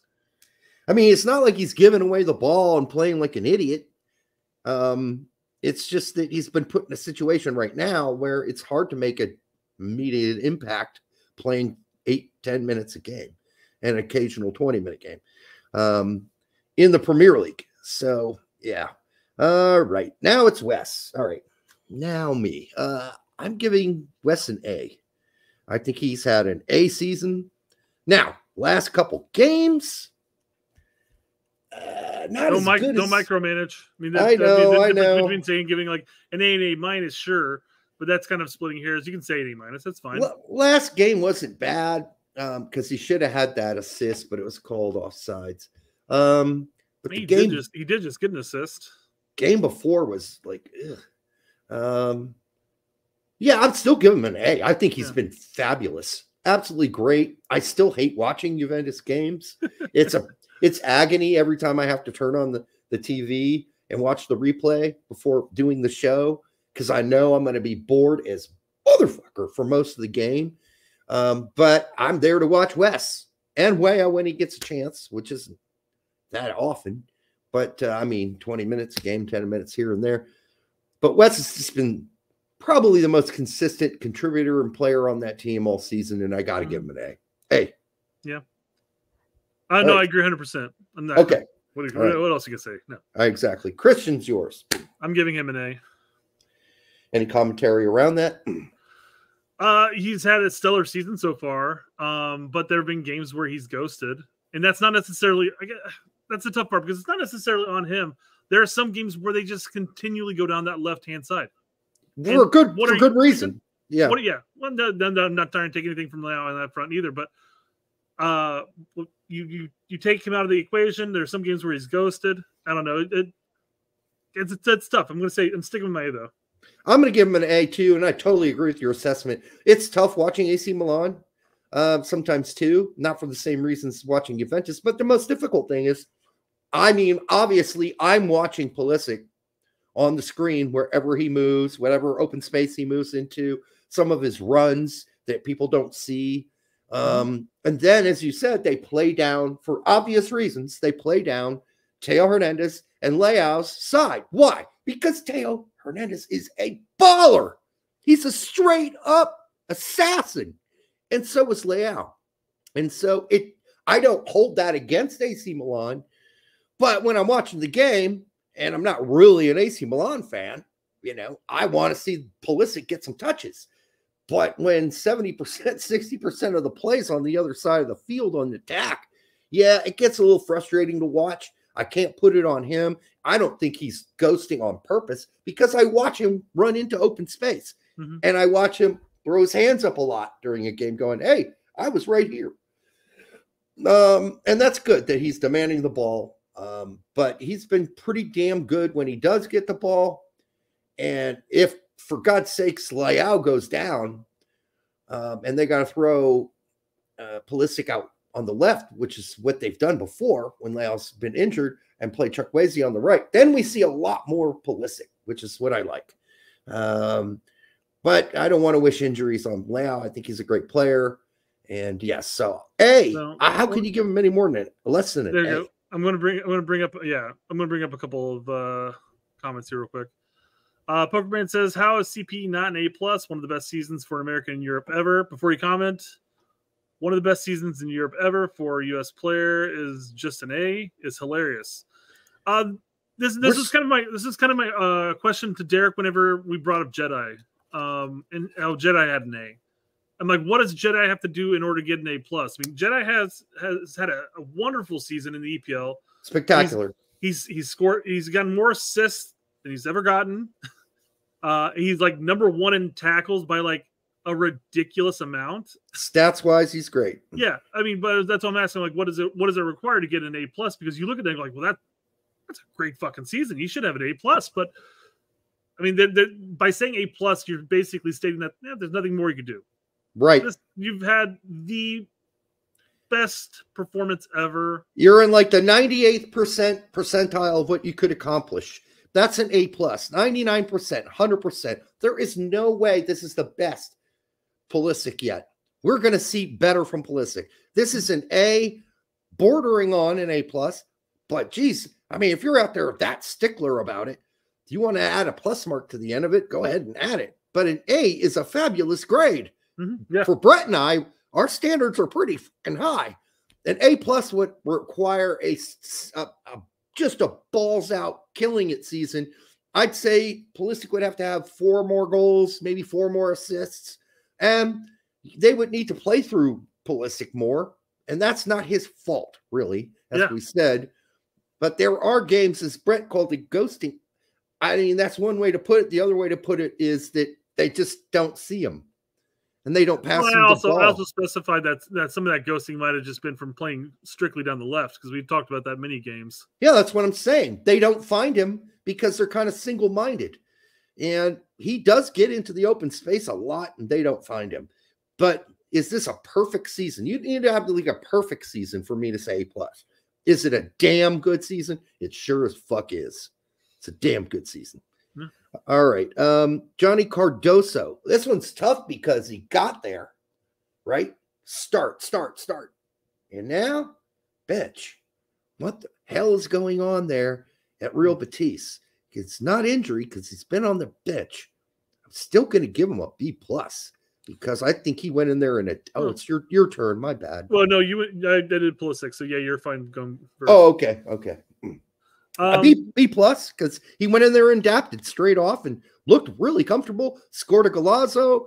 Had some great games. Had some other games. Just, they were fine, but mostly the fact that he was able to get there and adapt this fast and become a starter. Not now, but um, you know, Um, Jack, I, I'm assuming you're talking about Johnny as well when you say this, but uh, because you specified the entire season. Um, do we consider his time in Brazil for the first half of quote unquote the season, if you will? yeah, that was probably an A there at International. I was gonna say because because I, I can flat out say it, I didn't watch any of the games. I can only go off of what Tact was talking about because he watched them. Stats, stats, statistics. Um, I mean, just now. well. I mean, he was starting. He was starting for what arguably the best team in Brazil. One of the best. Yeah. So I mean, you, that can't just you know throw that aside by any means. Um. So what what you say you gave me? You gave him a B a B A B plus, and that's because you know I would have given him an S, an, a, a- just stuck with the A, but now with this sudden twist where he's a bench guy, doesn't make any sense to me. But How many how many games so far has he been benched? two, he came off the bench in one, I believe, and the other one he didn't play at all. And I'm just like, what's going on here? I asked Tact about it. He's not 100% sure yet either. So we'll find out. But that was a real, like, what happened there? And let's just be really honest. There were a couple games with Betis where uh, he looked a little lost. All right. Not totally lost, but he didn't have his best game and his best stuff. So he's virgin on an A minus. I'm going to stick with the B plus, and uh, let's see if he Fair fit- breakdown. If he finishes out the rest of the season as the starter again, then and they keep winning and he keeps performing, then he'll be back to an A. Uh, but we only got like six or a handful of games left, so a B plus is a good Very- grade. It's a good grade, people. Yeah, very promising. Yeah. Man, people are really sticklers. Man, man, that's a fucking B minus, man. No, that's a B plus, dude. I mean, come on. Let's not be too. Well, there, there's a gap this. between a B plus and a B minus. I mean, the the gap between an A minus and a B plus is quite small, right? Well, technically speaking, you could have I mean, in our in our grading scale, you could have had a 94. That would have been a B plus, and then the 95 would have been an A minus. But this sounds A minus sounds better, right? Yeah, I mean, it does sound better, but It is let- better, but if I had to say what kind of number Cardoso's B plus is, it is a 94. It is verging on an A. It's just Mm-hmm. lately, I'm not sure what's going on. And when we find out what's going on, we'll, I guess we'll have a better uh, idea. But uh, yeah, I mean, play at International was quite good. If that would have continued in a consistent basis with So- Betis, you know, we'll see. uh, Cardoso, uh, Bimar says Cardoso was only benched for one game. They didn't have a games this weekend apparently, and Cardoso and la Torre play tomorrow. Right. No, no, no, no. He's right. He's only been benched and rode pine 90 full minutes for one game. That is true. But why? That was my question. Gone from a starter to being benched for 90 minutes? I, I don't even understand. And I guess it's because one guy came back from injury. They shifted around some stuff. But benching him for 90 minutes after the way he's played seems a little harsh.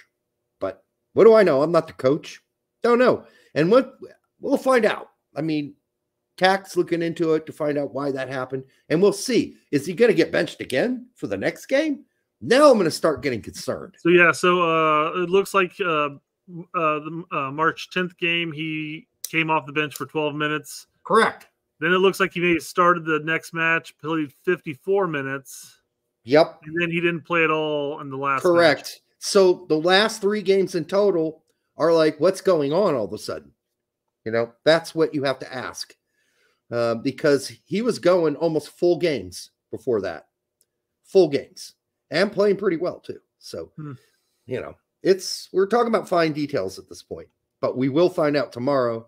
You know, if this is continuing with Cardoso, I hope not, because when he was a starter, he looked great. Well, mostly great. Did have a couple rough games. Um, all right, uh, whose turn is it? Uh, it's mine for Ricardo Pepi. Pepi. Uh, started off strong, but it's fizzled out as far as production level and minutes too. And then obviously the most recent debacle. Uh, I'm gonna say, I'm gonna say B minus. I think that's fair. I was going to say B. Minute, min, the minutes is what's getting me though. Yeah. And again, not necessarily his fault by any means. I mean, he was producing it with low minutes, and it's and obviously uh De Jong is performing. I mean, It's yeah, a good input. you're not going to kick De Jong off the lineup. Now there was that one game that Bosz, um, he experimented and started Pepi as a left winger instead of um, Chucky, and that was okay.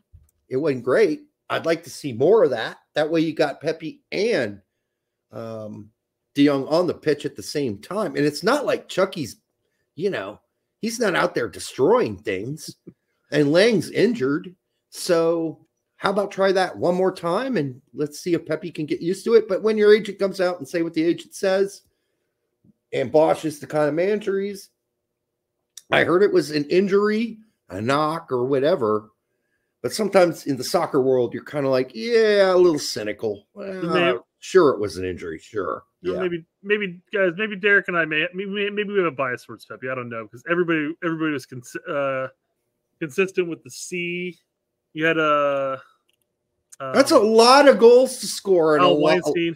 Al Weinstein, uh, Pepi's number one fan or number one- uh, number one fan of Pepi. Gave him a C minus until he opened his mouth, and now he's a D minus. That's fair. Listen, you can do that, and I would understand. And I do understand what Brett said too that the production's gone down lately. Um, I guess I could punish him more for that and punish him and his agent for that. But for as many goals as he scored in the limited time that he's had and the goal in the Champions League, I mean, it's kind of hard for me to go harsher than a B minus. It really is. He could not be, be playing at all. So, uh, Yeah. I mean, there's that. It's not the dream season Pepi wants, but you know what? This is on his agent. Why did you send him to PSV? There are plenty other. Well, I can tell you why, because PSV was the only one willing to fork up the money Yeah. to Augsburg to get him. Nobody else was willing to pay his salary because otherwise he would have been loaned out again, right? To Yeah. Utrecht or somebody, you know? Well, and from I mean, Earnie's come out and he's he's stated uh, the reasons why he really wanted Pepi. Uh, he likes what he's able to do. He he finds him very promise. He's a very promising talent. It- It wasn't for the short term uh, game. Like it was, it was. Uh, we're bringing, we're going to get you. We're signing you on, but they were looking more long term. Right.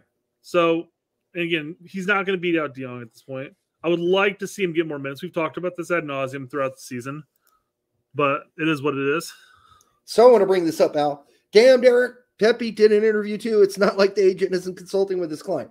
I agree, but it is the agent's job to talk with his client and say, I'll do the talking.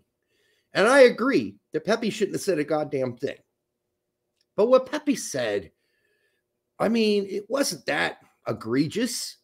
But then when it comes on top of layered with the what the agent says, now it's becoming egregious. Now it's becoming something a guy like Bosz is not putting up with. So let's hope that's not what happened. Let's hope that Pepi really was injured, although I never hope anybody's injured. Because if it is an injury and he just got totally left off the 18 because of his big mouth and No, his agent's think- big mouth, yeah, that's 100% not good. I 100% think anytime something like that happens, I always immediately go to uh, um, Ted Lasso in the first season when uh, he's taking uh, taking Roy off the starting lineup, Of course you do. and he goes, he goes, he goes, "Hey, I can always just tell them that you're injured. That happens." Yeah. You know, and he's like, "Yeah, that would save. You know, would, you know, that would keep my stock high enough unless I have to go play for America. You know, type thing." But yeah, I mean, no, and then uh, Berhalter did the same thing with uh, with Gio against Wales. Ah, you know, he uh, he had a knock. He was in, he was injured. Which then Reyna said, "You're, I'm you know, injured. I'm not injured," I'm which not was injured. Whoa, contradicting the coach when he's trying to protect you. Not a good story. Um, not a good look usually for the coach or you. Yeah. so, all right. But yeah, Well- so the, when, when- whenever it comes up like uh, there's a controversy and all of a sudden somebody's injured, I don't believe it for a second. I don't either. I don't either. I'm sorry. I'm that cynical. Whose turn is it? Uh, it's yours. Brendan Aronson, C plus. And I only added that plus on, by the way, because of the last three games that he's played. Mm. Like before that, I was thinking C minus, and then the last. thinking C minus. Are you? Even even with even with his performance, because his his he has barely gotten playing time this season at all. Up And then he- until the last three recently, games. yes. Yep. So I'm saying I'm saying C minus. Okay. And I'm only saying C minus because of the last three games, quite frankly. Yeah, I was a stinker before that. You might be more right than me. I may be being ho- more hopeful um, for him because You're the you're you're going, please God, please God, let's have Dark Brandon. Well, we got Dark Brandon for three games in a row for Union Berlin. So I'm hoping. Uh, and then based on the after game interview, he seemed really honest about that. Um, you know, about like just not being able to find his place on the team. It was really frustrating for him. So I guess C, C minus, maybe C plus is really generous. Um, and I get it. Maybe I'm just being too nice.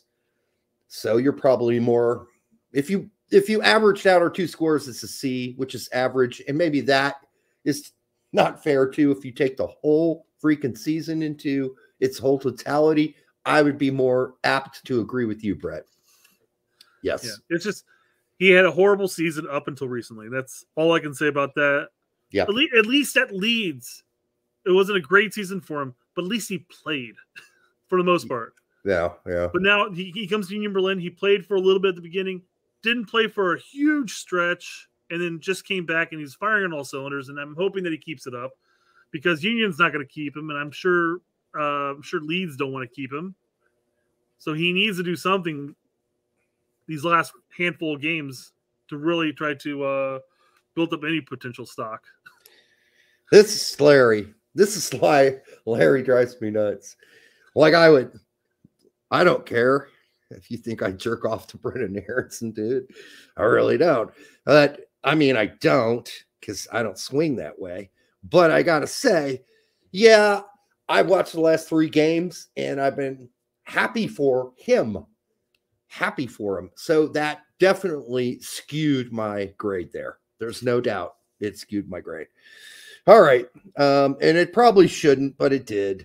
Sorry. But as I said, Brett's probably right on this grade. I'm wrong. All right. Is it my turn yet? Or Uh, you turn? did Brendan. You did Brendan. Okay, you do Haji. A Haji, I'm giving a B plus.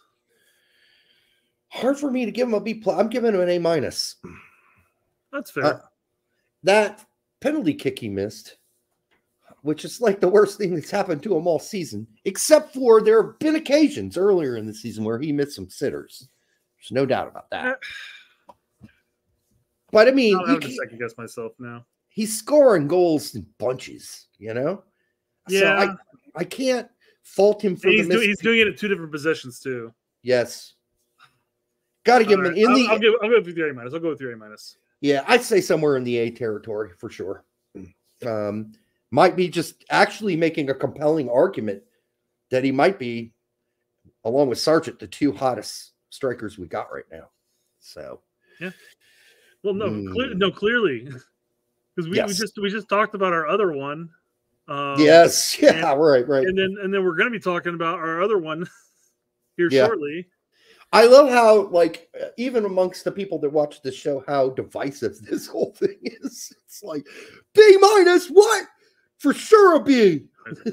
More goals than Sarge, lol. More games than Sarge, also. Uh, come on, context, Larry. Context.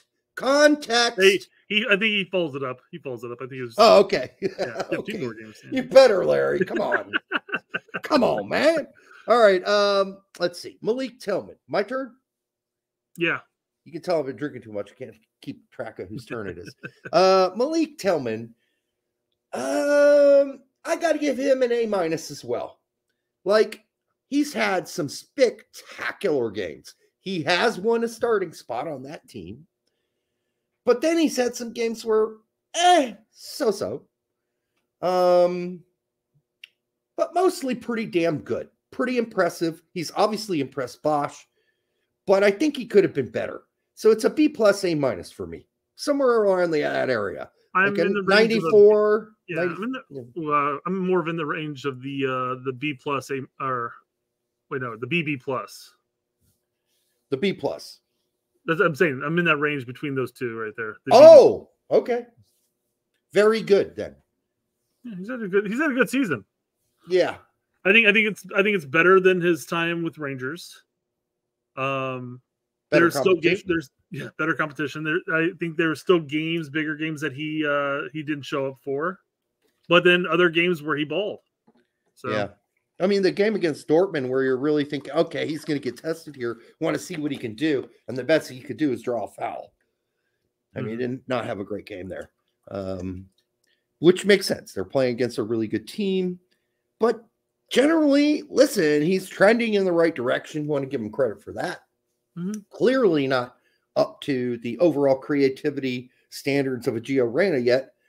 Um, we were hoping it would be closer than it is in the the gap between those two, but the gap's still there, um, and that shows in the uh, U.S. men's national team games. It does. It shows. Uh, blah, blah, blah, blah, blah. Folarin Balogun. That's you, right? And again, this is me. Basically, I can't watch any of his games because I don't get. Uh, I it beIN? know. Is it beIN that has them or whatever? Channel? Yep. I can't watch any of his games, so I can only go off of the stuff I hear. Mhm. Uh, and I, I know that he's not. he- yes, he's scoring some goals here and there, but he's not having a great season. He's missed a ton of PKs, and he's got removed from the PK taker list. Yep. Uh, doesn't start all the time. Not a Not lot any- actually. Not anymore. Nope. Um, so I got, I'm gonna get. I'm gonna get. I'm gonna give him a C. Yeah, CC minus. There was no real advancement from his last season in Lille. This is not an improvement from last season. No. Let's also keep in mind Monaco play a lot more like the U.S. men's national team than Lille, and that means that he has to play with his back to goal sometimes. They might want to get him out wide more and get more open space. That might help him. Um, but yeah, it's not all his fault, obviously but um, not a great season. Just this is based on the stats uh, that I've read and following all of those from game to game and his minutes, uh, the reports from his coach, his coach, and Yeah. his manager, and what they're saying. And then the missed PKs are just totally unacceptable. You can't miss four PKs in a season. So C, C average, at best average. This is if if he was playing his average best, he should be. I guess he's doing good enough to continue to score goals. Um, so I guess he's fine. I would have. I was hoping for like an A season from him, honestly. But if he's being asked to play in a system where there aren't many through balls, because that's his skill. He plays off the back of a CB. You play a through ball. He outruns the CB. He gets the ball. He scores. not a whole lot of that going on based on all the highlights I've watched, based on all the um, footage that I have seen. As like you, I don't have beIN, can't watch the full games, can only watch chunks of games that are published on YouTube. So, yeah, maybe our grade isn't fair. If you disagree with us, it might be because you get beIN and you're watching all the games and you think he's doing, you know, firecrackers are shooting out of his ass, and we're just missing that. Um, but yeah, that's where we stand. Mm. All right, Timothy Weah. Um, yeah, C, uh, C, C minus, C. Just not having any impact out there at all with all the minute. You could say he's not playing a lot, but he does get good chunks of time to play sometimes. But he's playing right wing back. I don't think he's totally comfortable with that. And then we see him roam all over the place like a like a a rudderless ship out there, Mm-hmm. cutting in. He doesn't. I don't know. You're really Yeah. building up to my grade because I said it was going to be a D plus. Yeah. C Uh, I'm a little more, D I'm a little more jaded here because, uh, well, I mean, I watch all the games anyways. Right. But, uh, I'm a little more jaded because you see what he does with the U.S. men's national team, or at least has done. Uh, he's playing. He, he's playing a position for Juve that should, in theory, and I don't know what I don't know what uh, Allegri's telling him to do and all. Um, but he's playing in a role that should allow him to just bolt down that pitch and lace it across, or try to beat a man and shoot the ball from out. Um, But, instead, is- McKennie does that. yeah, but he's he's all over the place. Yeah, There are games where he'll he's out he's out right, and then all of a sudden you see him out left wing, and all of a sudden he's in the middle. He's that striker, and you're just like, what is happening here? What am I watching? And that's the thing. I don't know how much of it is Allegri and how much of it is Weah. I can't imagine it's Weah because he doesn't do that with the national team. And that might that might be more Berhalter being He has a more fixed role with us for Yeah. sure. So maybe that's maybe Allegri gives him a little more freedom to go into the pockets because you do see uh uh McKennie and um uh Cambiaso Cambiaso. I'm We always going to butcher his name. we do this Always going to butcher his name. Uh, but they they do it. They do they do go back and forth.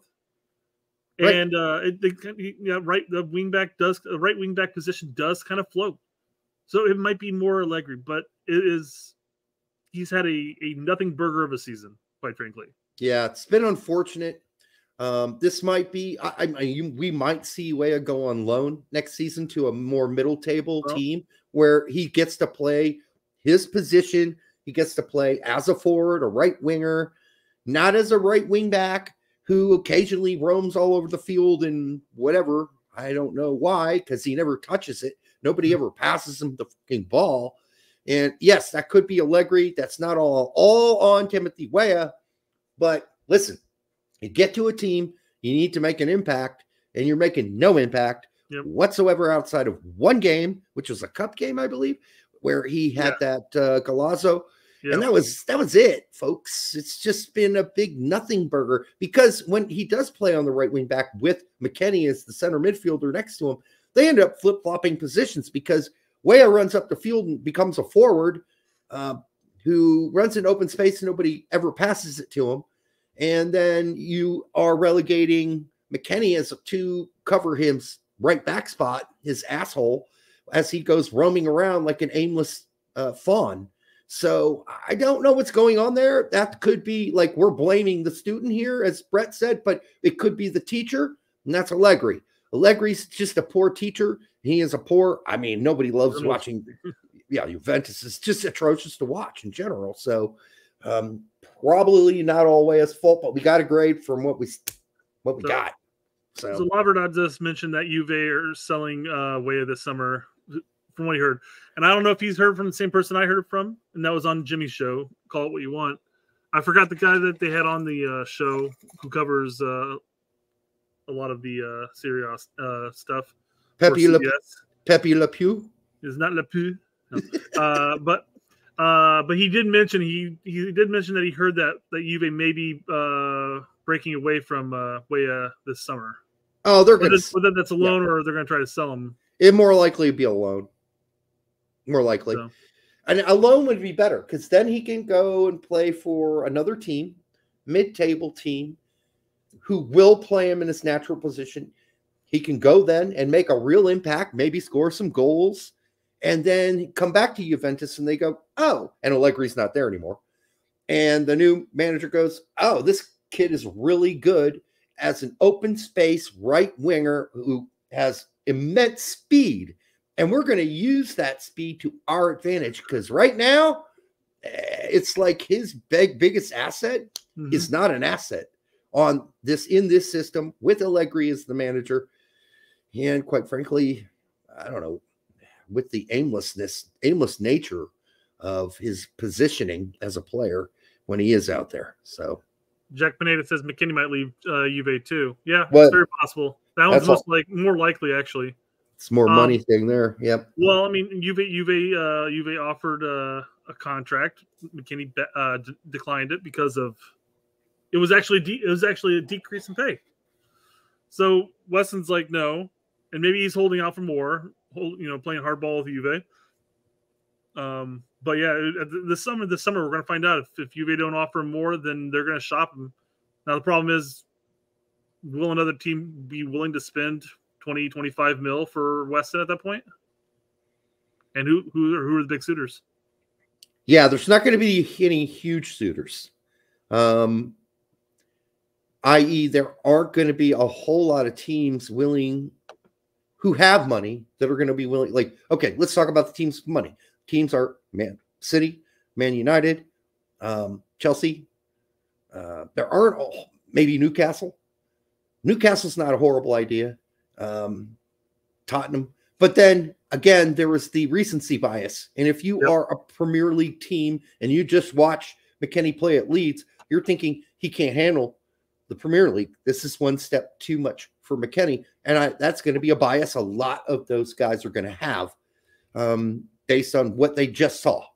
And then no other team in Italy is going to pump out the kind of money that McKennie is asking for. Inter Milan's very conservative and they got what they want for the most part right now. There's not a whole lot of teams in the Bundesliga who can pump out the kind of money that um, McKennie and his agent are looking for either. Like Bayern Mhm. is about it. and I don't think Bayern are interested in McKennie. That could change. Tuchel's leaving. I don't know. But I think you're probably more than likely to see him play at like Frankfurt or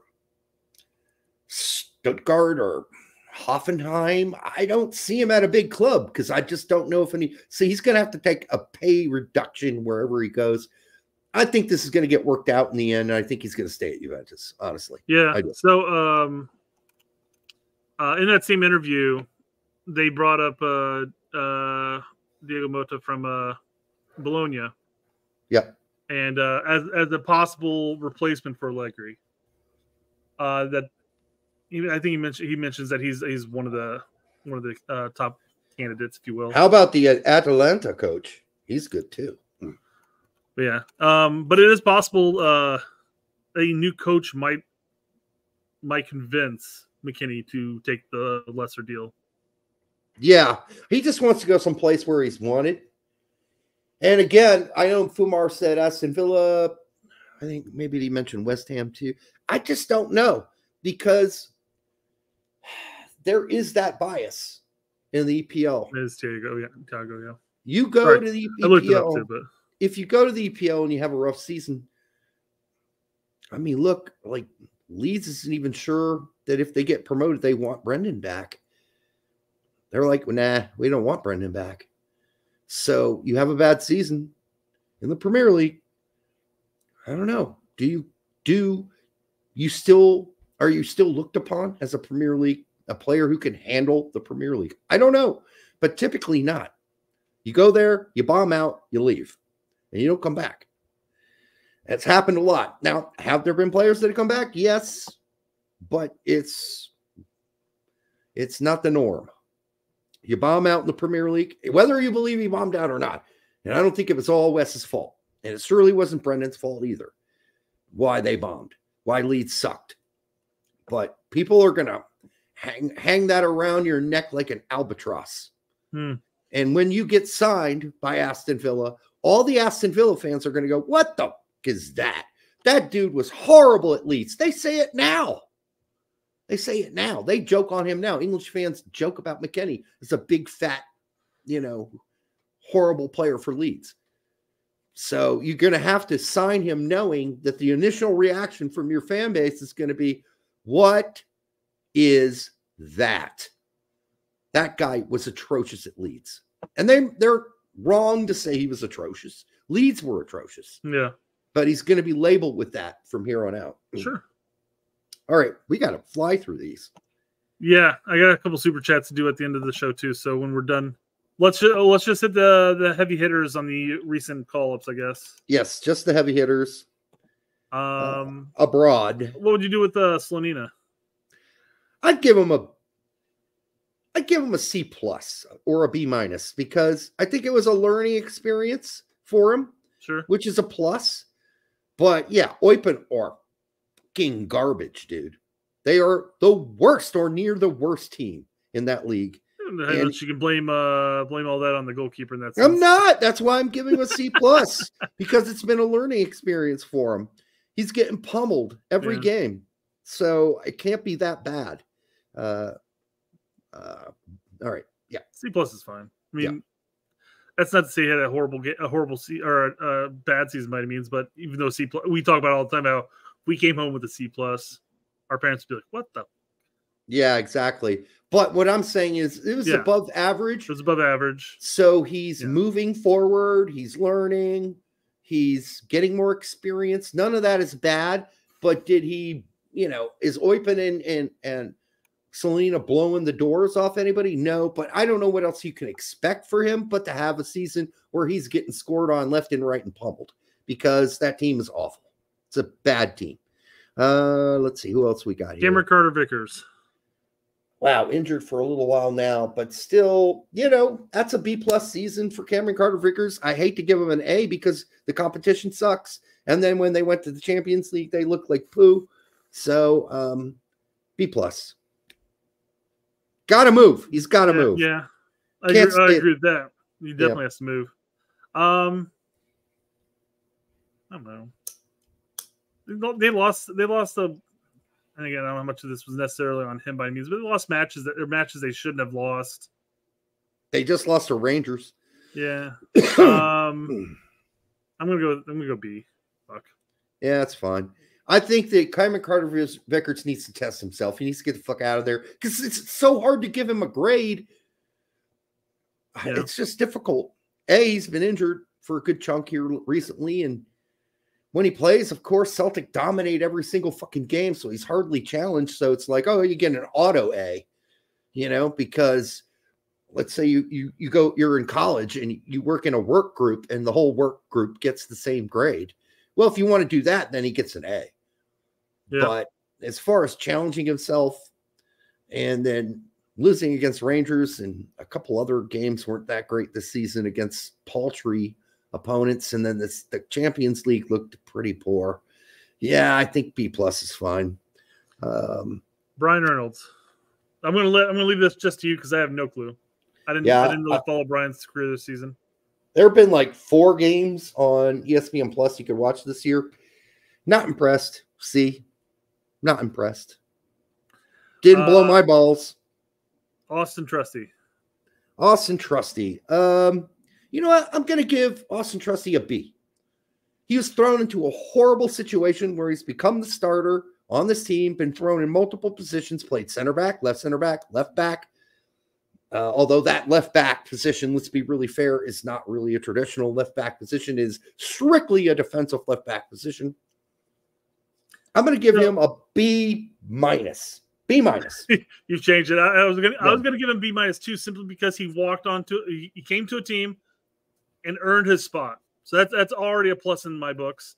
Yep. Problem is, is if we're gonna give somebody like uh Slonina a, a C plus because Eupen sucks donkey balls, what are we gonna do about Sheffield, who give up like four or five? goals a game? I I'm just know. saying, it's the same standards. I think B minus is fine. C Um, plus, B minus, somewhere around there, maybe. Um, a B, B minus, Fair, B, B. it's- there's some Yeah. games he worked himself off the ro- off the lineup, but uh, I think as a whole, I think he played pretty damn well this season. BB plus range is my guess. Be But they- interesting. Be interesting to see what happens now. New coach, new manager. Yeah. So we'll see soon this weekend how that all works out for him with a new manager. Uh, let's see who else we got in this. Lennard Maloney. Uh, Lennard Maloney is an A baby. Yeah. Hey, Hey. he's not he's not gonna have the stats to back it up by any means, but I mean No. he was absolutely instrumental for Heidenheim when he was gone injured.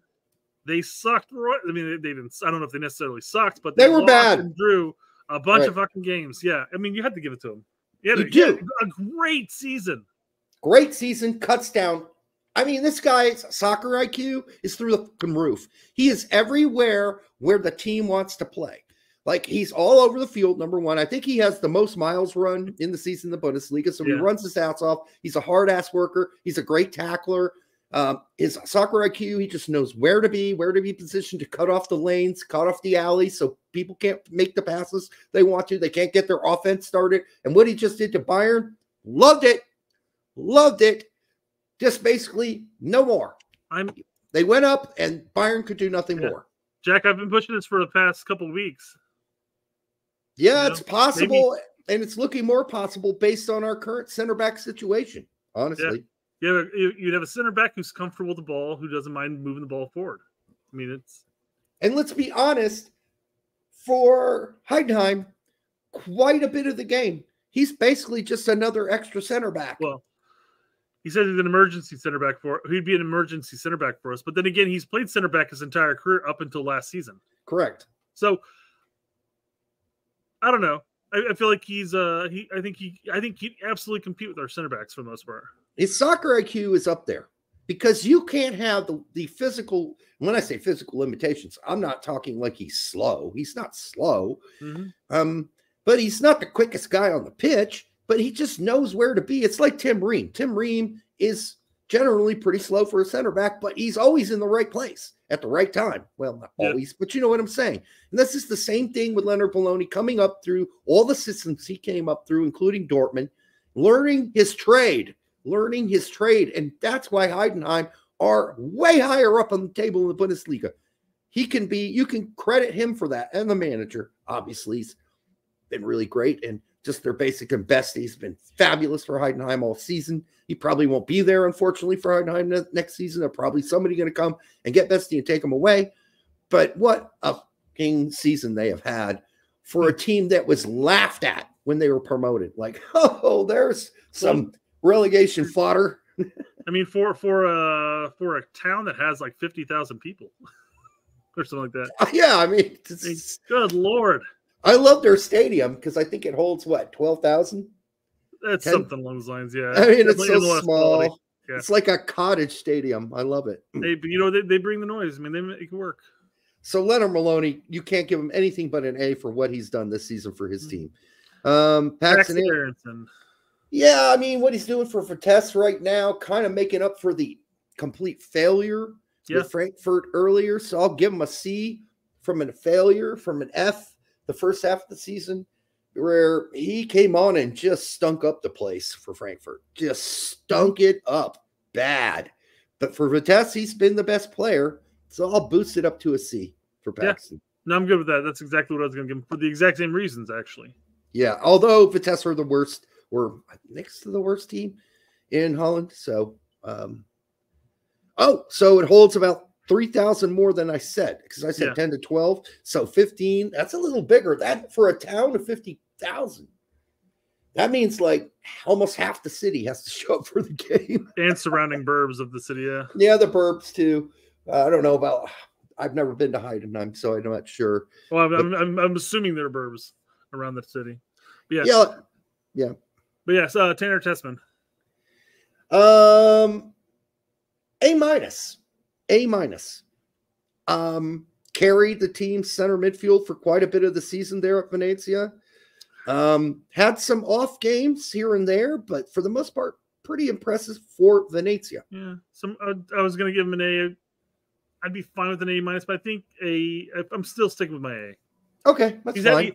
he's instrumental for the team. He. He's not gonna. I mean, he- Venezia. If they if they get promoted, yeah, he'll be back in Serie A. Whether or not he'll still be with Venezia, whether or not they get promoted, will be the other question. Yeah.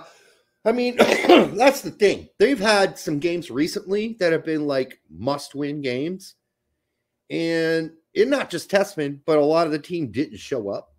Mhm. Um, and now instead of being really, you know, out there at the top of the table where it's obvious they're going to get auto pro promo promotion, now it's going to look like it's going to be a battle.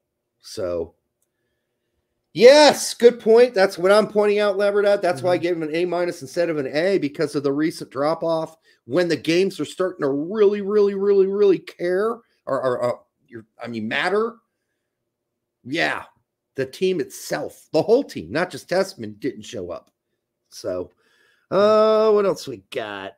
We got Busio, stuck with the Venezia crew. B. Give him a B.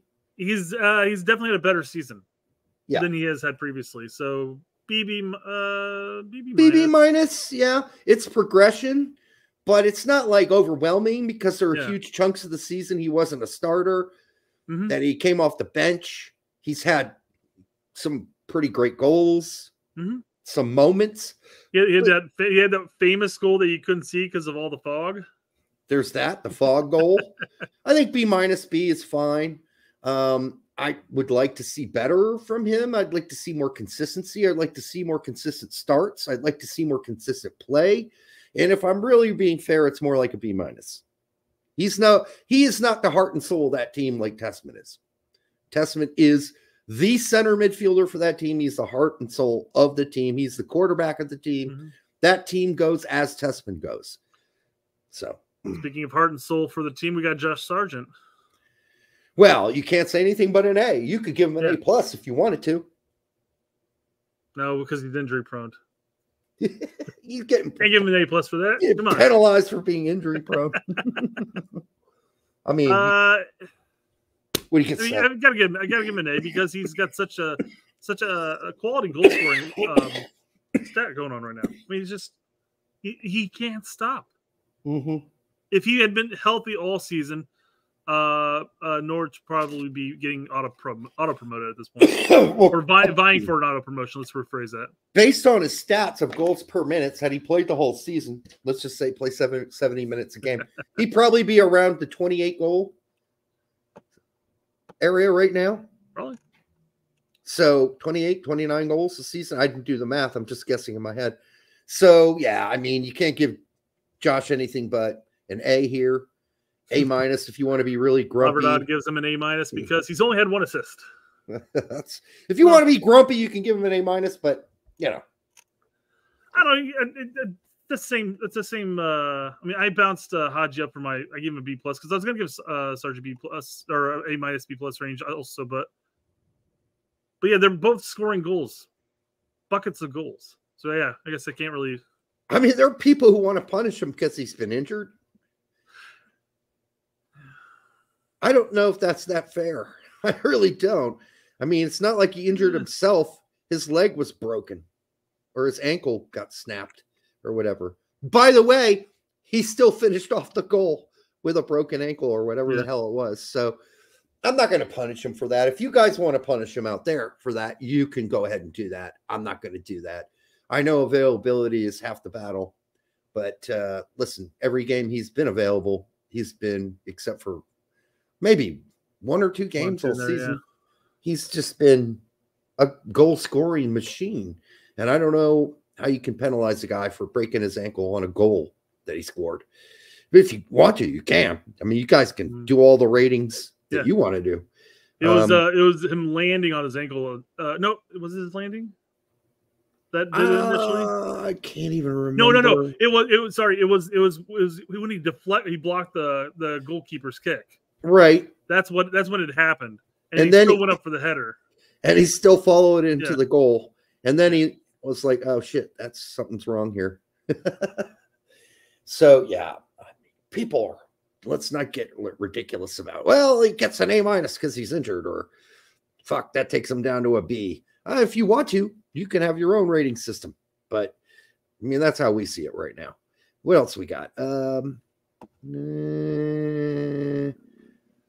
Cade Cowell. no. I mean, he is a yank abroad, I suppose. Yeah. It's been okay. It's better than I thought it would It's be. better than his. Uh, it's better than his uh, San Jose seasons. it has been better than the San Jose season. So maybe like a C plus, B minus, somewhere around there. I don't know. It's been it's been a step forward. I can't just give him a C because it's looked like an improvement in general.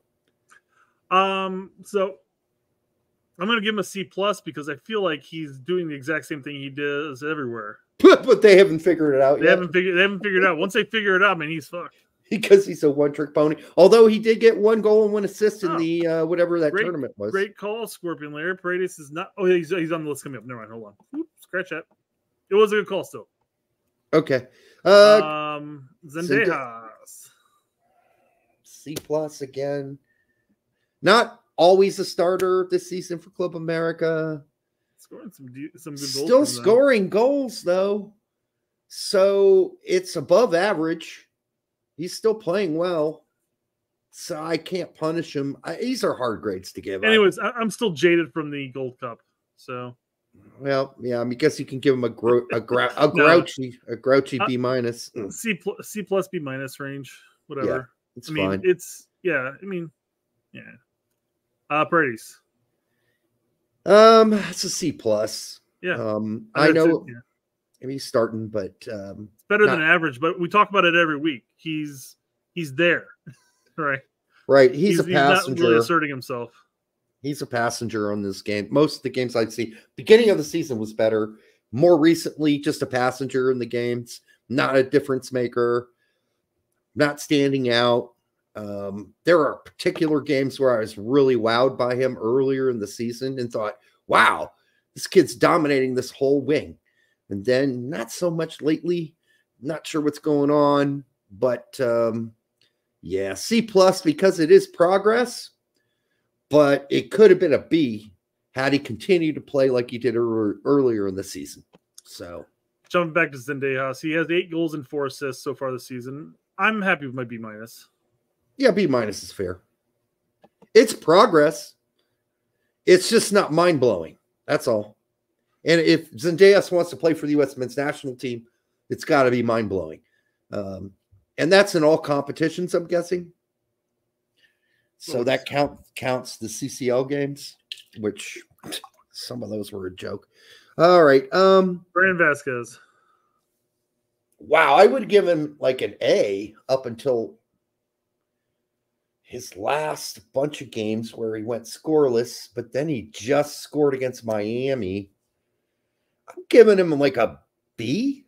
I think it's still a B. Are you so? Are you going to lump in the second half of the MLS season into this uh decision? Well, Or if I just well, no, we can't because it's not. Uh, he wasn't a Yanks abroad at that point. that's correct. So Yeah, it's that's just uh, one way of. uh Yeah, he's just started off really hot with Ignoring that crap. Monterrey. I mean, he was on fire. He was an A, A, A, A, and then more recently cooled off until the uh the flubber Callender gift goal that he got.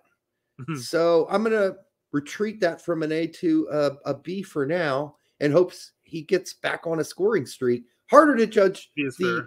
the Mexican league, it, Liga MX, because it just got started. I mean, they got a whole season to go, whereas we're en- ending the European season.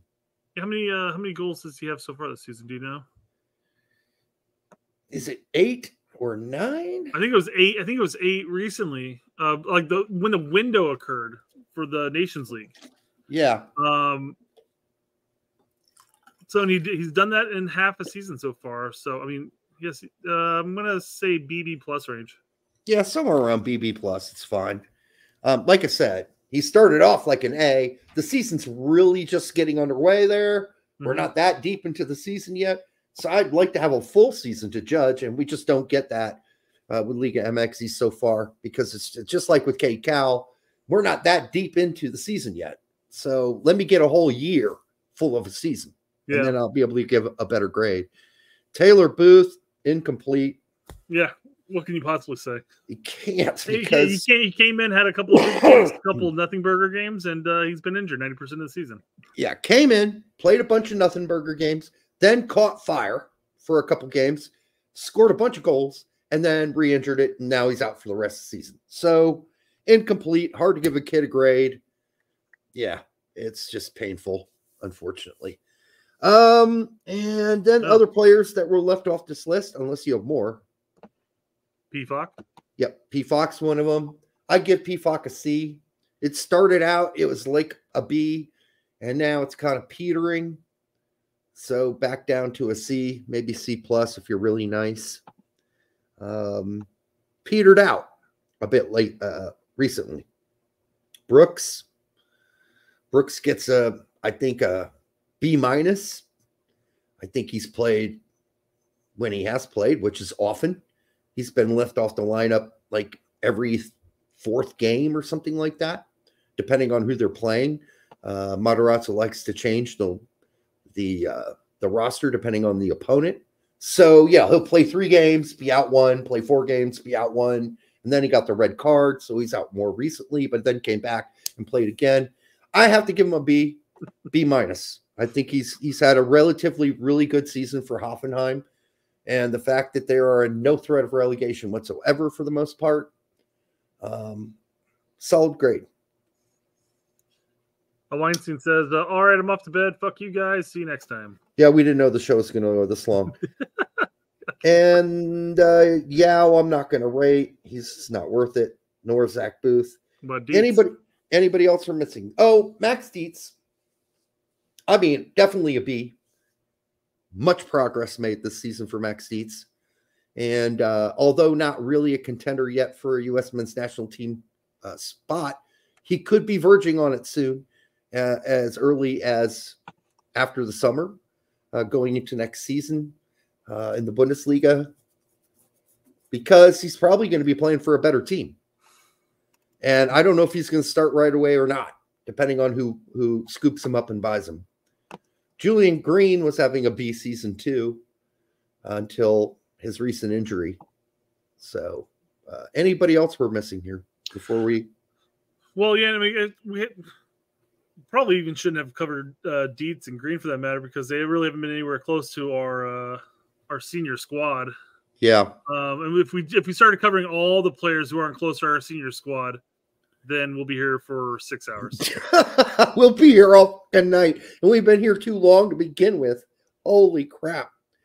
Uh, uh, Labradette says, "When is our thirty-minute Derek Psycho Twitter reaction rant? Need some for work tomorrow. I don't really have one tonight. What's the craziest I got tonight?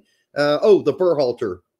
yeah, um, that was fun. That was a fun little topic. footage. Yeah, so you can rewind back to that and get some juice from that. But other than that, we got to call it a night, guys. Like three hours. This is a record show for us. This is the longest we've ever done. I think, Brett. Am I correct? Yeah. And we, Uh, yeah, about yeah, it'd have to be. and Brett's got some sleep to get. I've got, you know, more shows to watch tonight. Games I got to watch. Got to watch the AC Milan game tonight before I go to bed. And the rest of you have your stepsisters to get back to. So we can't do this all night. So I wish you the best. Make sure you like, subscribe, share it with grandma, and lube up. Make sure you lube up if you're trying extra holes with the stepsister. Other than that, it should be natural, right? Shouldn't be any problem. Um, until the next time on Straight Red Card, we will see you Monday. Have a great weekend.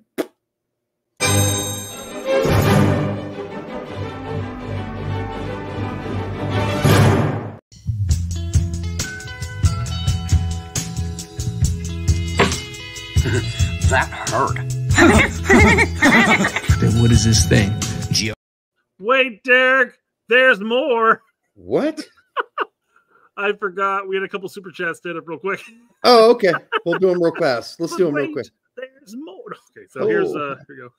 AJ four one zero for one ninety nine. Would a four one three two work with this current U.S. men's national team roster? It absolutely could work and would work. But if you are waiting for Gregg to do that, you are going to be waiting for a long time, or you're going to be waiting for a um, an emergency. In the Jamaica game, didn't we kind of look like we went to like a two Yes. record roll? Emergency. That's what I'm saying. yeah. Yeah. Fair enough. Emergency. I mean- urgent, urgent, urgent. Go ahead. Yeah, you just be playing Adams back there and then throw everything but the kitchen sink forward. Correct. So, could you start that way AJ141. Yes, you could, but I wouldn't expect Gregg to start that way anytime soon. Scorpions, Larry for $2. Uh, GGG and Claudio like Wayne and Garth to Weah's dad. Gregg and Claudio are like, Like Wayne, Wayne, and, Garth. Garth. to Wayne's dad. dad. Not worthy? Thanks for the two. him- Uh, that Not worthy? Like Not worthy. Not worthy. I'm guessing that's got to be it. They're not worthy to Weah's dad. Yes, players probably not. I mean, George Weah was one of the best players to ever play in Serie A. So, dude, uh, you're you're like uh like trying to work that in your head, and like all of a sudden I'm just immediately jumping into thanks for the two bucks. while I'm trying to figure out Larry's state of mind, which is not which is not easy, by the way. not easy to get into Larry's state of mind outside of the obvious things that Larry is very focused on. That is easy to get into. But uh but on this Mar says, "Oh, it's going to take him 30 minutes to figure this out. Let's hit that four hour mark." no, I think we just figured it out, BMR. Yeah. I think it's the I'm not worthy. I'm not worthy. In that sense, yes, Weah was wow, he won the Ballon d'Or, right? One season at least. From what I remember, he won one. Right? Yeah. So uh So yeah, what a great career he had. Uh, not so good in the Premier League, or not as good, but um, where else did he go? Uh, anyhow, yeah, sorry, BMR, I did figure it out, and now I got to make something up about your stepsisters again as we're closing out the show. I got nothing. Um, I really don't. Watch a movie, have a good time, have a great time over the weekend. Um, watching the the games. I love it when we got a full uh, host of games or a full, full roster of games to watch, which we do this weekend. And um, be good to your stepsister, regardless. And if you have um, a stepbrother and a stepsister that are married or whatever, be nice to them too. And we will see you again on Monday. Have a good weekend.